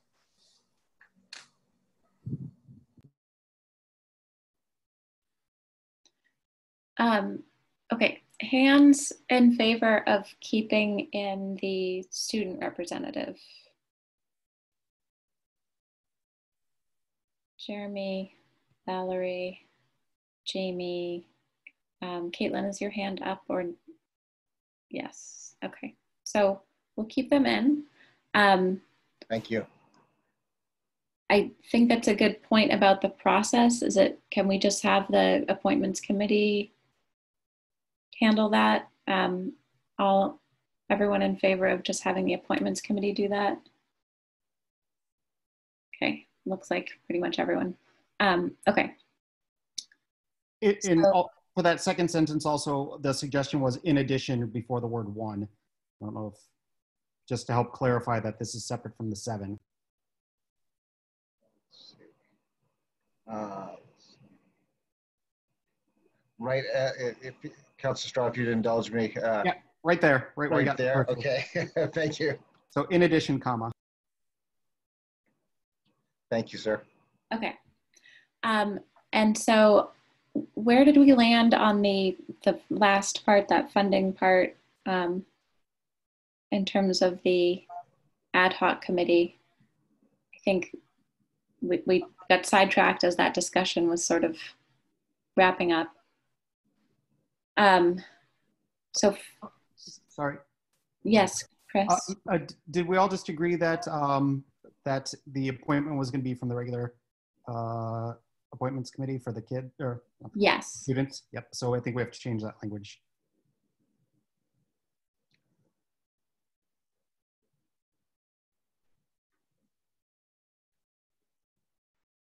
Shall serve as non-voting members. Um, I think we could end it.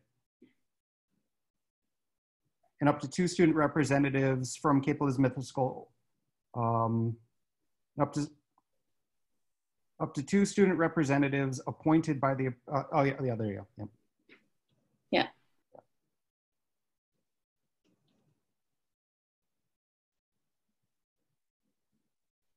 Okay. So jumping back down to the end there. Um, what do we typically do for an ad hoc committee? Do we do we typically have a section like that for an ad hoc committee?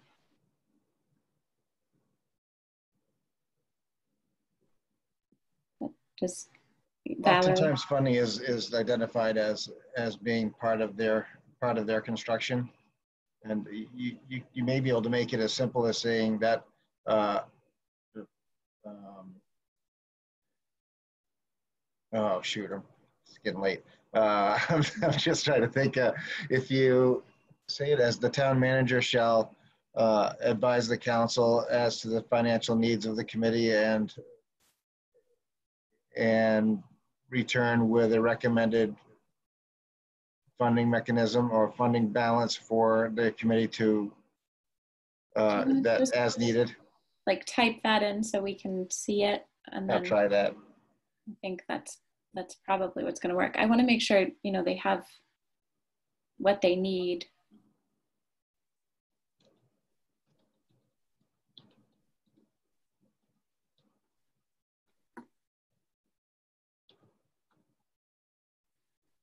To complete.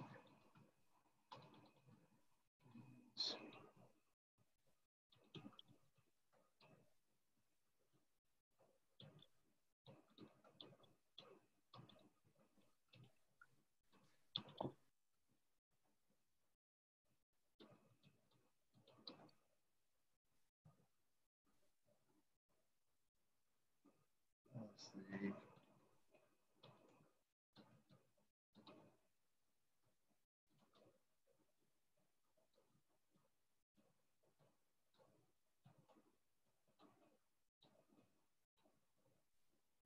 would that work?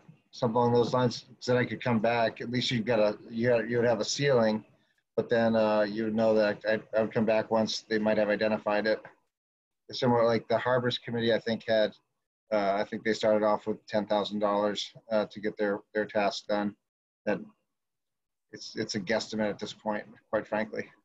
Um, Chris, yes? I- I'd strike everything before the first comma, but otherwise, yes. So I'd just say the town manager will advise the, the council on financial needs and request funds as the committee performs its tasks, not to exceed 10,000. Yeah, I, that's, I think that sounds great. Um, quick show of hands, everyone who is in favor of this. All right, looks like, okay. We are all in favor of that. Okay. Um, and then we're going to take out that next part. And um, do we need to, do we leave in the summary? Um, I- don't know what's standard for, for this. I think we can, I think we can delete that, Madam Chair. Valerie, thank you for all of your hard work revising this document. And sorry we ripped it to pieces. Yes, go ahead. Oh no, this that was exactly what was intended. This is great.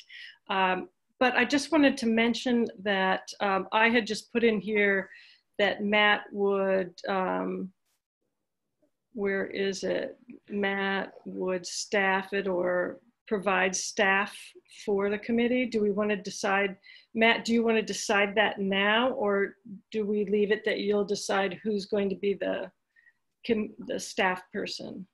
If, later? if I, if I could, I'd like to come back. Uh, I'm still working that through, but uh, it's, it, yeah, uh, if, if I can come back with advice on that, it's either going to be myself. I, I think that's going to be my role, quite frankly. Um, well, also in the purpose, we'll, we have to clean, clean that up.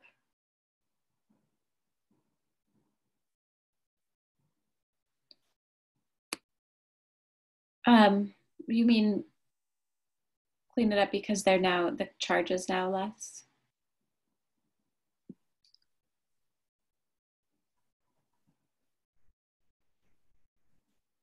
Um, I think the first part actually still works. Like that first sentence still works because in drafting the charge for the standing committee,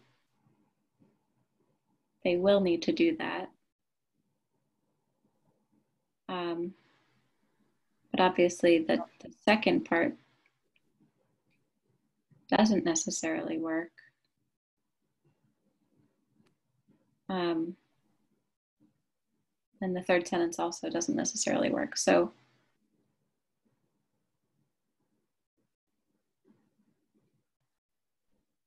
I think it may just be the first sentence. Does anyone disagree that we may just be down to the first sentence for purpose? No one disagrees. Okay. Um, that looks good. So the one thing that I just want to touch on before we leave this document is and on the second one, the second point, um, it's a little bit unclear to me what we're actually asking. And I want to make sure it's clear to the committee. Um, so what other than creating the, the standing committee, what are we asking them to do? One thing that I wanted them to do is, is sort of like an immediate thing is to sort of advise the town council on immediate um, immediate training or education or you know essentially i'd like them to provide us with a, a reading list or an just some some basic first steps that we should take before we even get into looking at the committee but I don't know if that's what other councilors were envisioning by that number two. And I, I do think it's a little ambiguous. So, um, Valerie, what were you envisioning when you drafted that? Well, this was basically drafted um, by the, the group. We put this all together. So um, it's really part of um, the bigger picture. It seems very broad to me. I think that your idea of um, taking action steps, and maybe it's um, advising the town council on actions um, the council can take immediately, um, and training that can take a that can happen immediately. Some sort of actions that we can take on right away before the standing committee is put into place. So maybe advise the town council on, um, or what Penny's language was, assess, assess immediate actions. Yeah. So maybe we put assess immediate actions and advise the town council on um, I don't know. Assess, assess and Assess and advise. assess and advise. Assess um, immediate actions and advise the town council on, on those issues in order to take action. Okay. Does anyone dislike revised sub two or have any other suggestions? No. Okay. Any other work that any councilor thinks needs to be done on this document before we move on? This uh, capitalized town council in two. Oh yeah, yeah, cap and and sub Or just a consistency between one and two. right. Either one. Whichever is the right one. It looks like town council elsewhere is lowercase as is town manager, so I think um, that works. Okay, I think we are done. Great. All right, so that is the end of our workshop meeting. Um, we now have our regular meeting. Um, just pulling up the agenda.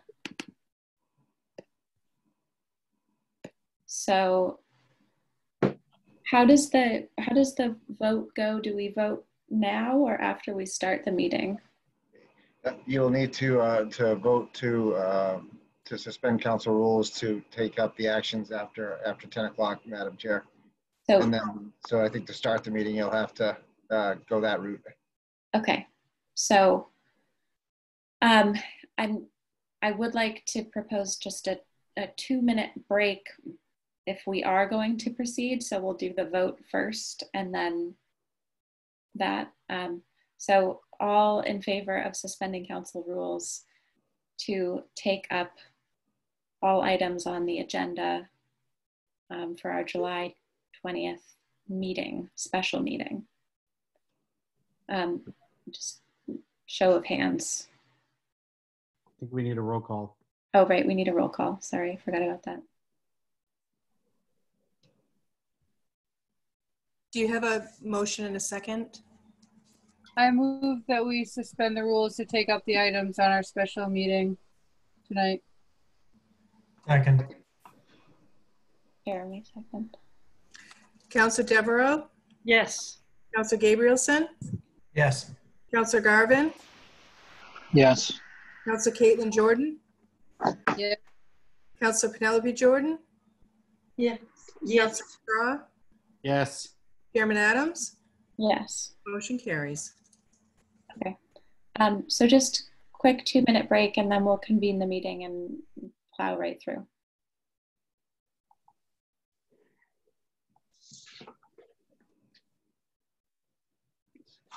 Water, water.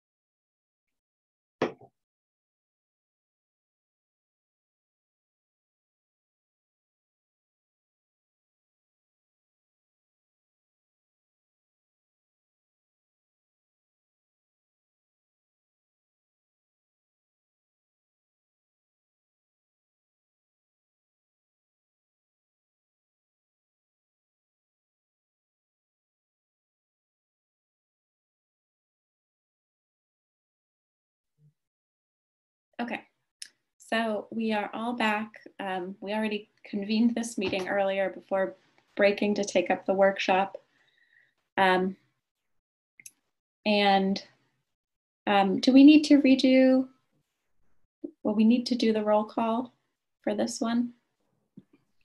De- Deborah, while uh, while you were out earlier uh, with the internet, I, I did do a full roll call and we did do the Pledge of Allegiance at the uh, at the beginning. So we're good. Okay, great. Um, so there are 15 attendees left with us this evening. Thank you for your devotion. Um, does anyone have an item uh, not on this evening's agenda that they would like to raise? This is your opportunity. Seeing no one. Okay. Um, item number 102-2020, recommendation from the Energy Committee relating to a landfill solar project. Um, anyone here wishing to comment on this particular item, please go ahead and raise your hand if so. Right, seeing no one. Um, so we do have some information in the materials this evening. Um, and we are now Finally, um, looking to authorize the manager to enter into negotiations with Encore Renewable Energy for the installation of a solar power installation at the Cape Elizabeth Recycling Center, um, former landfill site, which is recommended by the Energy Committee. And I first want to thank the Energy Committee for their work and getting this together because um, it's been a long time coming and we are very much appreciative of all of your hard work. Um, all right, so is there a motion to authorize the manager to enter into negotiations. So moved. Jeremy, thank you. Is there a second? Second. Uh, Chris? Or Um, discussion on this particular item? Penny? Um, I just wanted to know if uh, we're going to address the questions that Bill Downs put forward. I, I think we should at least acknowledge them and address them. Um, specifically about not any supporting documents. Um, I, I know that they have had their minutes and their research because I think we have seen that before. Actually, I shouldn't say I think, I know. Um, and um, question two about no usage and cost history for the town. I thought we had seen um, we had seen that. Um, so I'm hoping we can address those questions. Yeah, I just I saw don't want that. follow. I don't want them to follow us through this whole process. Um, yeah, I just, I'm seeing that email. Um, and I also, Jamie, did you have a response to that or something else? I was going to bring up the same point because I think we have all the information. I guess I'm just questioning whether or not it's not been posted or um, so. Chris? Uh, yeah, I think it's it's not part of tonight's packet, but over the last two three years, um, so the the usage analysis that was that began with the ad hoc committee. It was like 2016. I could have the year wrong, uh, but we've been analyzing that for a, a while. Um, it's a good point that hey, have you actually looked at what your usage was? But this is something that we it's not part of tonight's packet, but something that has been looked at with respect to uh, where's the details of the plan we already had the various bids come in previously, and then we said, "Hey guys, uh, go get more for, for the and prepare for the final negotiating everything." And that's how we ended up at this point. So other stuff has been in prior meetings. Tonight's packet doesn't include those prior meetings things that we've seen. Is my recollection. Yeah, and they did put together a, a very, the, the ad hoc committee put together a very comprehensive document. Um, and I think a lot of this information was in that document. I would agree that we've seen a lot of this stuff. Jeremy?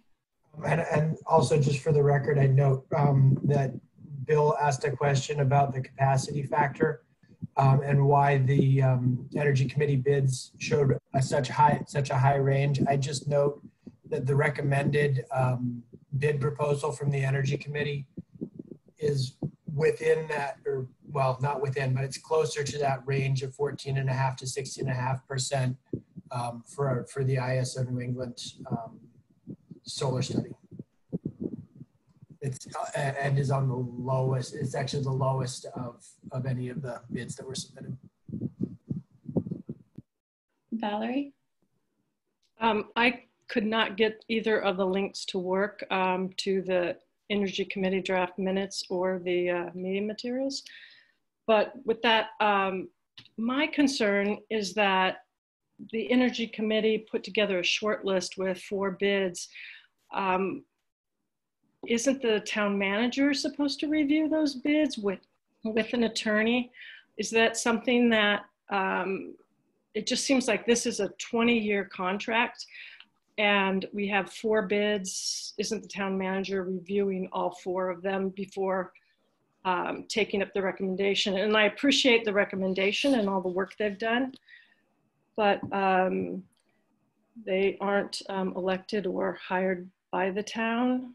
So I would think that, isn't it, maybe I don't know the process, but I feel like it's my due diligence to ask the question at least since um, we are elected and this is a 20 year contract. Matt, did you have a response to that?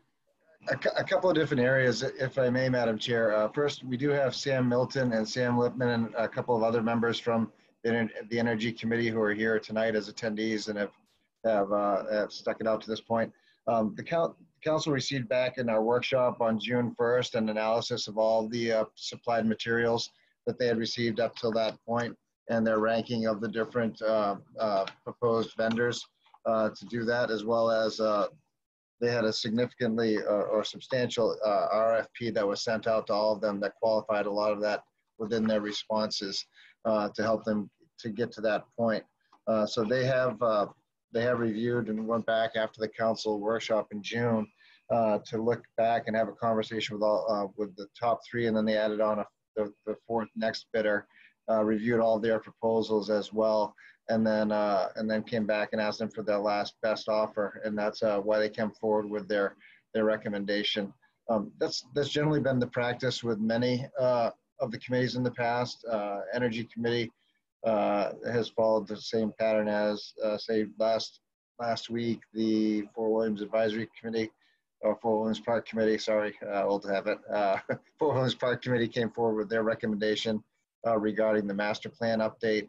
Uh, prior to that, uh, the uh, recycling committee had come forward with their recommendation that they had for that for that project. And I'm trying to think others that had taken place in the past for recommendations to the council. At, at, this point, it's to enter into negotiations with the committee, sorry, with the with the entity that they recommended. So uh, ultimately, it comes down to any any steps from this point forward also come back to the council to approve as well what the final uh, details would be. But it, it, may be a good opportunity at this point to ask uh, Mr. Milton to uh, also provide anything that I, I may have just missed as well as some of the discussions from the committee if that would be helpful.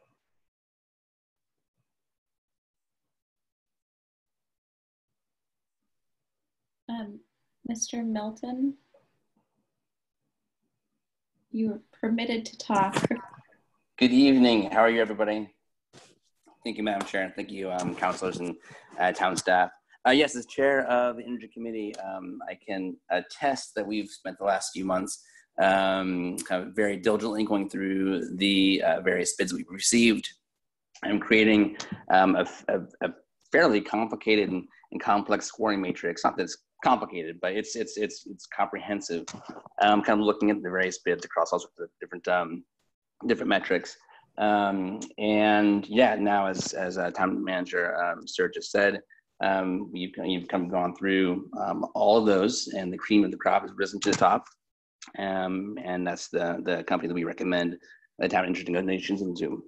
Um, and we're here to support that process as much as um, as much as we can.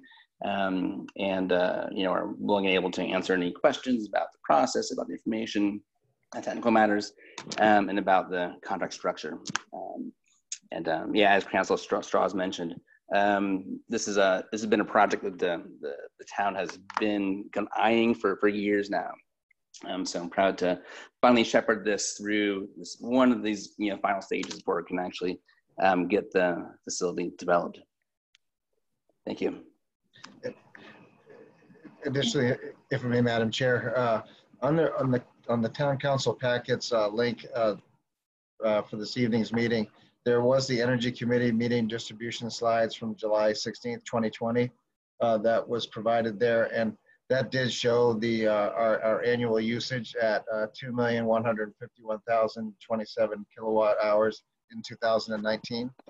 So that, that information was uh, was there as well. And that showed, you know, even with uh, the annual production from the, uh, you know, from the selected vendor, uh, you know, they'll, they'll help us meet, but we will not exceed, or that doesn't even exceed the, the annual usage that we do have. So that information was also available. I don't know if Mr. Downs didn't see that or uh, I can't. But. Yeah, it, it looks like the link in the agenda didn't work, but the document was in the supporting documents on the website and that link works. So um, I'm, I don't know if he's in attendance. I don't, it doesn't look like it, but I, I'm happy to email him and just follow up on that. Um, and it looks like uh, Richard Parker, who's also on the committee, is has a hand up. So I'd like to give him an opportunity to speak. And Richard, your microphone should be live. You just would need to unmute it. All right. yes, um, I just wanted to um, um, Matt just mentioned about what the capacity was, and I also ought to add to that that you know we're, we're we would only support we'd only want to supply 80% of our usage because you get a if you exceed your annual usage you don't get reimbursed for it. So you need to stay below your annual usage. The other thing i'd like to mention when he talks about um, the um, uh, number of quotes and options uh, when we put the request for bid out uh, we had seven companies reply and in total that we had 31 different options between the seven country companies that we, that we uh, had to evaluate. And those were um, with discussions with the town council and with discussion with the workshop, those are narrowed down to uh, four companies. And uh, with the instructions we, uh, relative to whether or not the companies, the, the town council wanted to keep the RECs or not, uh, we narrowed it down to the, to the final nine options that you see in the in the uh, information that we sent tonight. Um, and you you notice that they, they, they, it was close, and the final recommendation from the council or from the committee was based on not only the the, uh, the, the qualitative stuff we did, but also the quantitative stuff we did, but also the more subjective things. you know, we, we see that the ratings between HEP, Ameresco, Encore, and NextGrid are in many ways very close.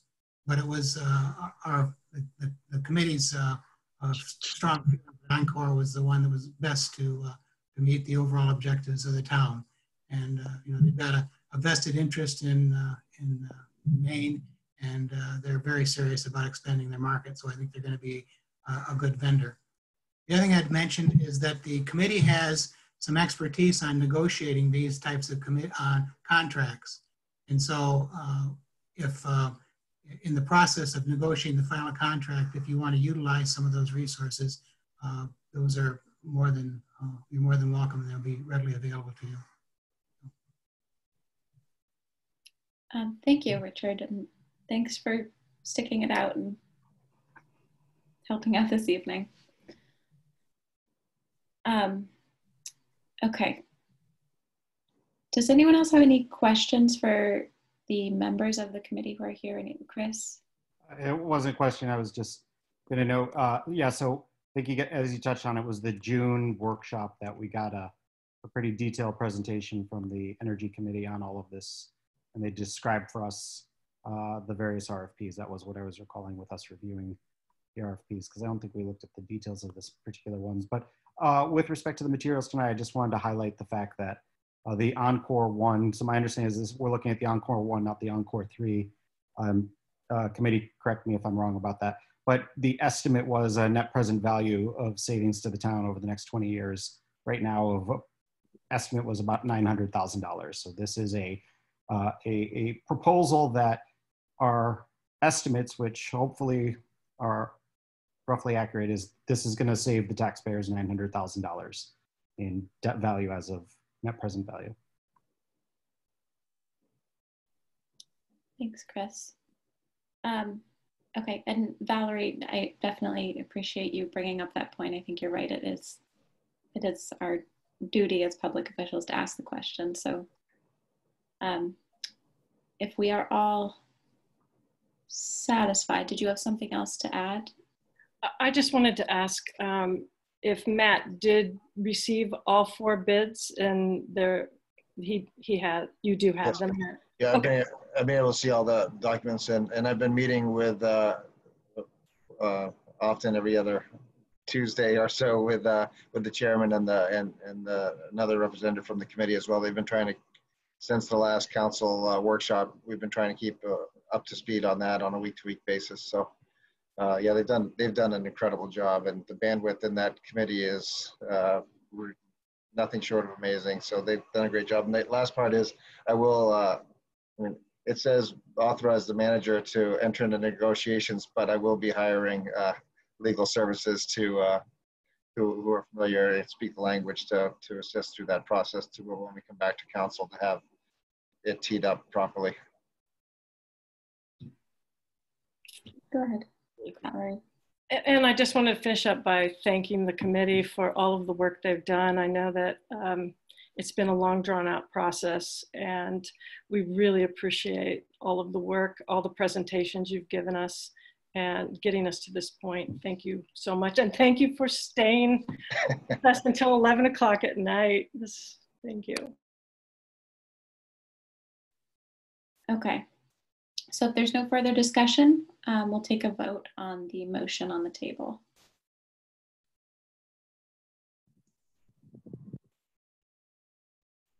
You're muted, Deb. Sorry, I hit it. It's not good enough. Councillor Devereaux? Yes. Councillor Gabrielson? Yes. Councillor Garvin? Yes. Councillor Caitlin Jordan? Yes. Councillor Penelope Jordan? Yes. Councillor Straw? Yes. Chairman Adams? Yes. Motion carries. Okay.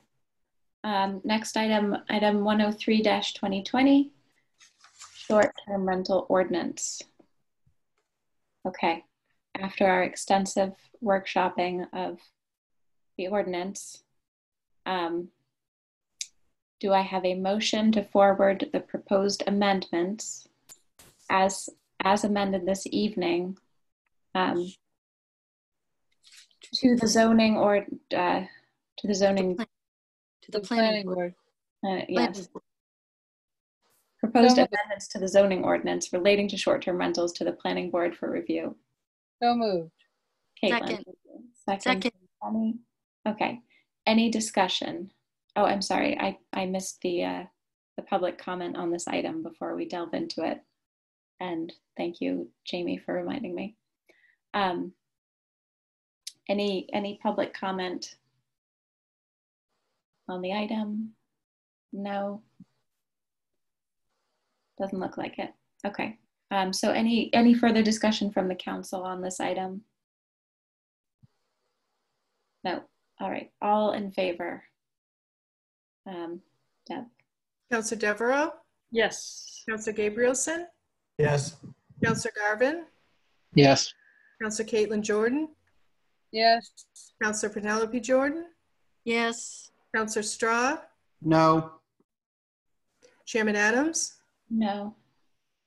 Motion carries five yea, two nay. Thank you. Um, all right, item dash, item 104 dash 2020, the Appointments Committee recommendation relating to um, what is now the Civil Rights Committee, an ad hoc committee. Any further public comment on this item before we vote?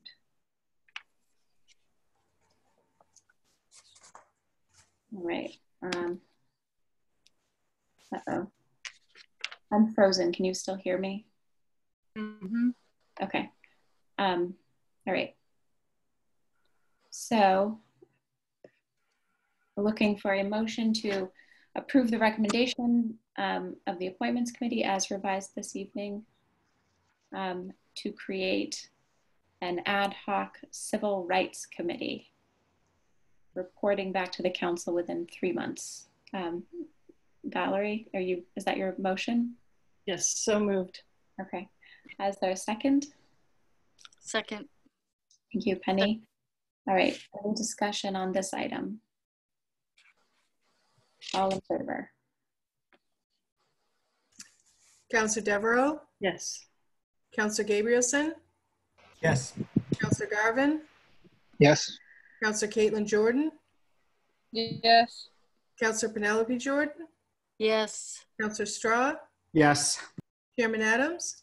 Yes, Motion carries. thank you. Um, item 105-2020, confirmation of the appointment of a public works director. Thank you, Matt, for your email, um, all the information. Huge thanks to Bob Malley for all of his work. Um, and also thank you to Jay Reynolds for um, putting himself out there and, and being ready to take on the mantle of leadership after Bob, which is um, definitely big shoes to fill, but I'm sure that it sounds like we picked a great candidate. So um, is there any public comment on this agenda item? Does not look like it. All right, looking for a motion to confirm the recommendation of the town manager. Um, Jamie, are you making a motion? with your hand? Uh, was, but more second, whatever you need. Okay, so uh, Jamie's motion to confirm the recommendation of the hiring of Jay Reynolds as Director of Public Works effective August 10th, 2020. Is there a second? Jeremy, thank you. Uh, and any discussion? Chris? Just say, to, since it looks like Mr. Reynolds is online, thank you for putting up with the late hour of the meeting. And hopefully this is the last time in a long time. We're up to 11:10. Until tax season, Yeah. or uh, sorry, budget season. Um, yes, Matt.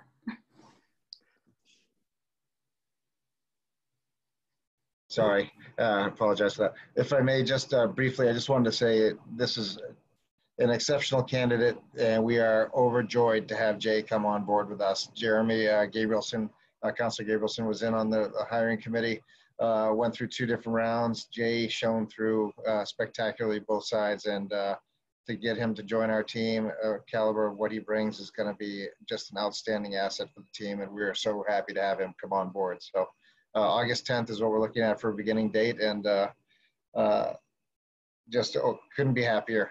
Sad to sad to lose Bob, but at the same time, extremely happy for him and graduating to his next chapter. But we are also equally now very happy to have Jay come on board.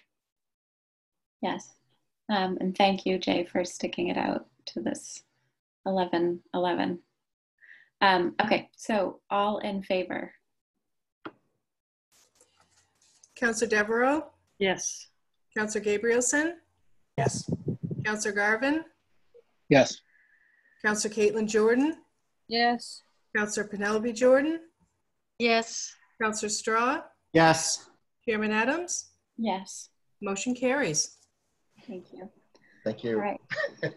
Um, item 106-2020, relocation of the War Veterans Monument.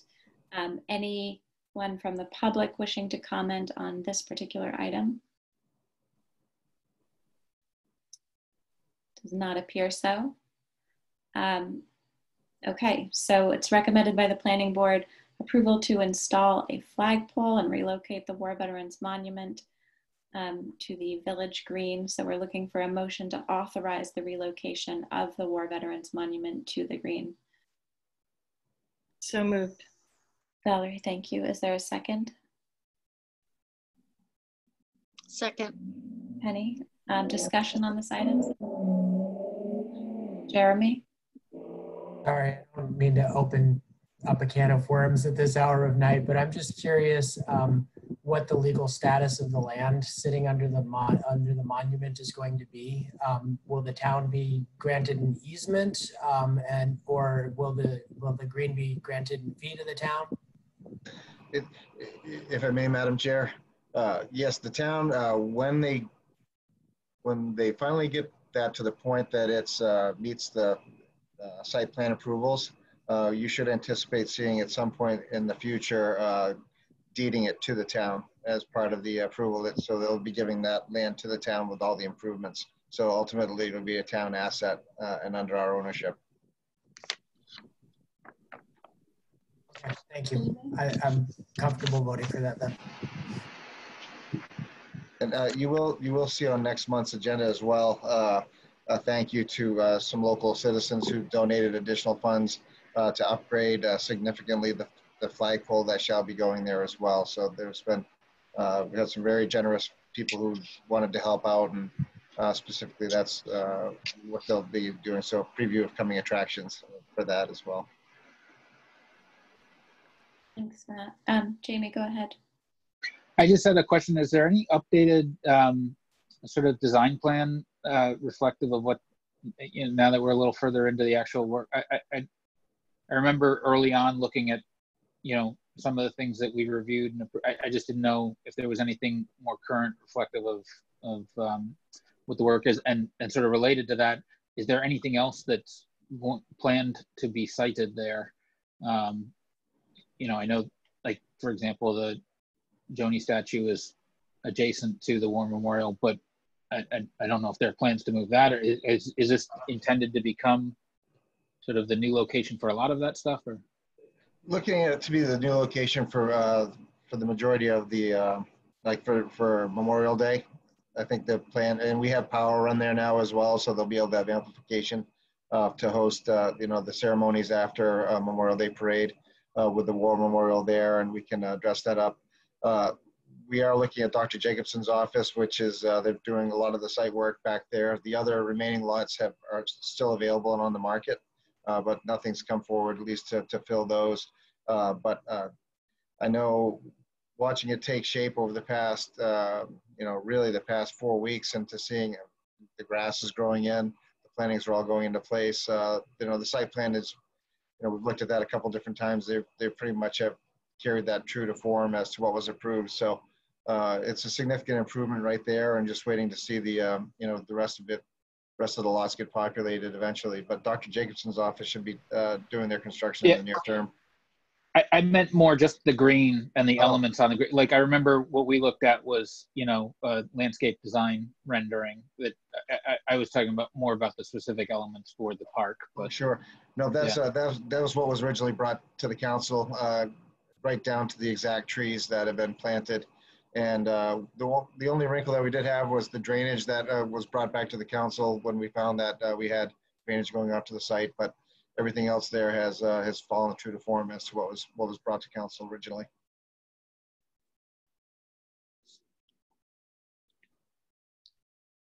Um, any other questions or comments?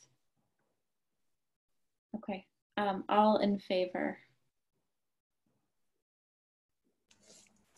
Councilor Deveraux, Yes. Councilor Gabrielson, Yes.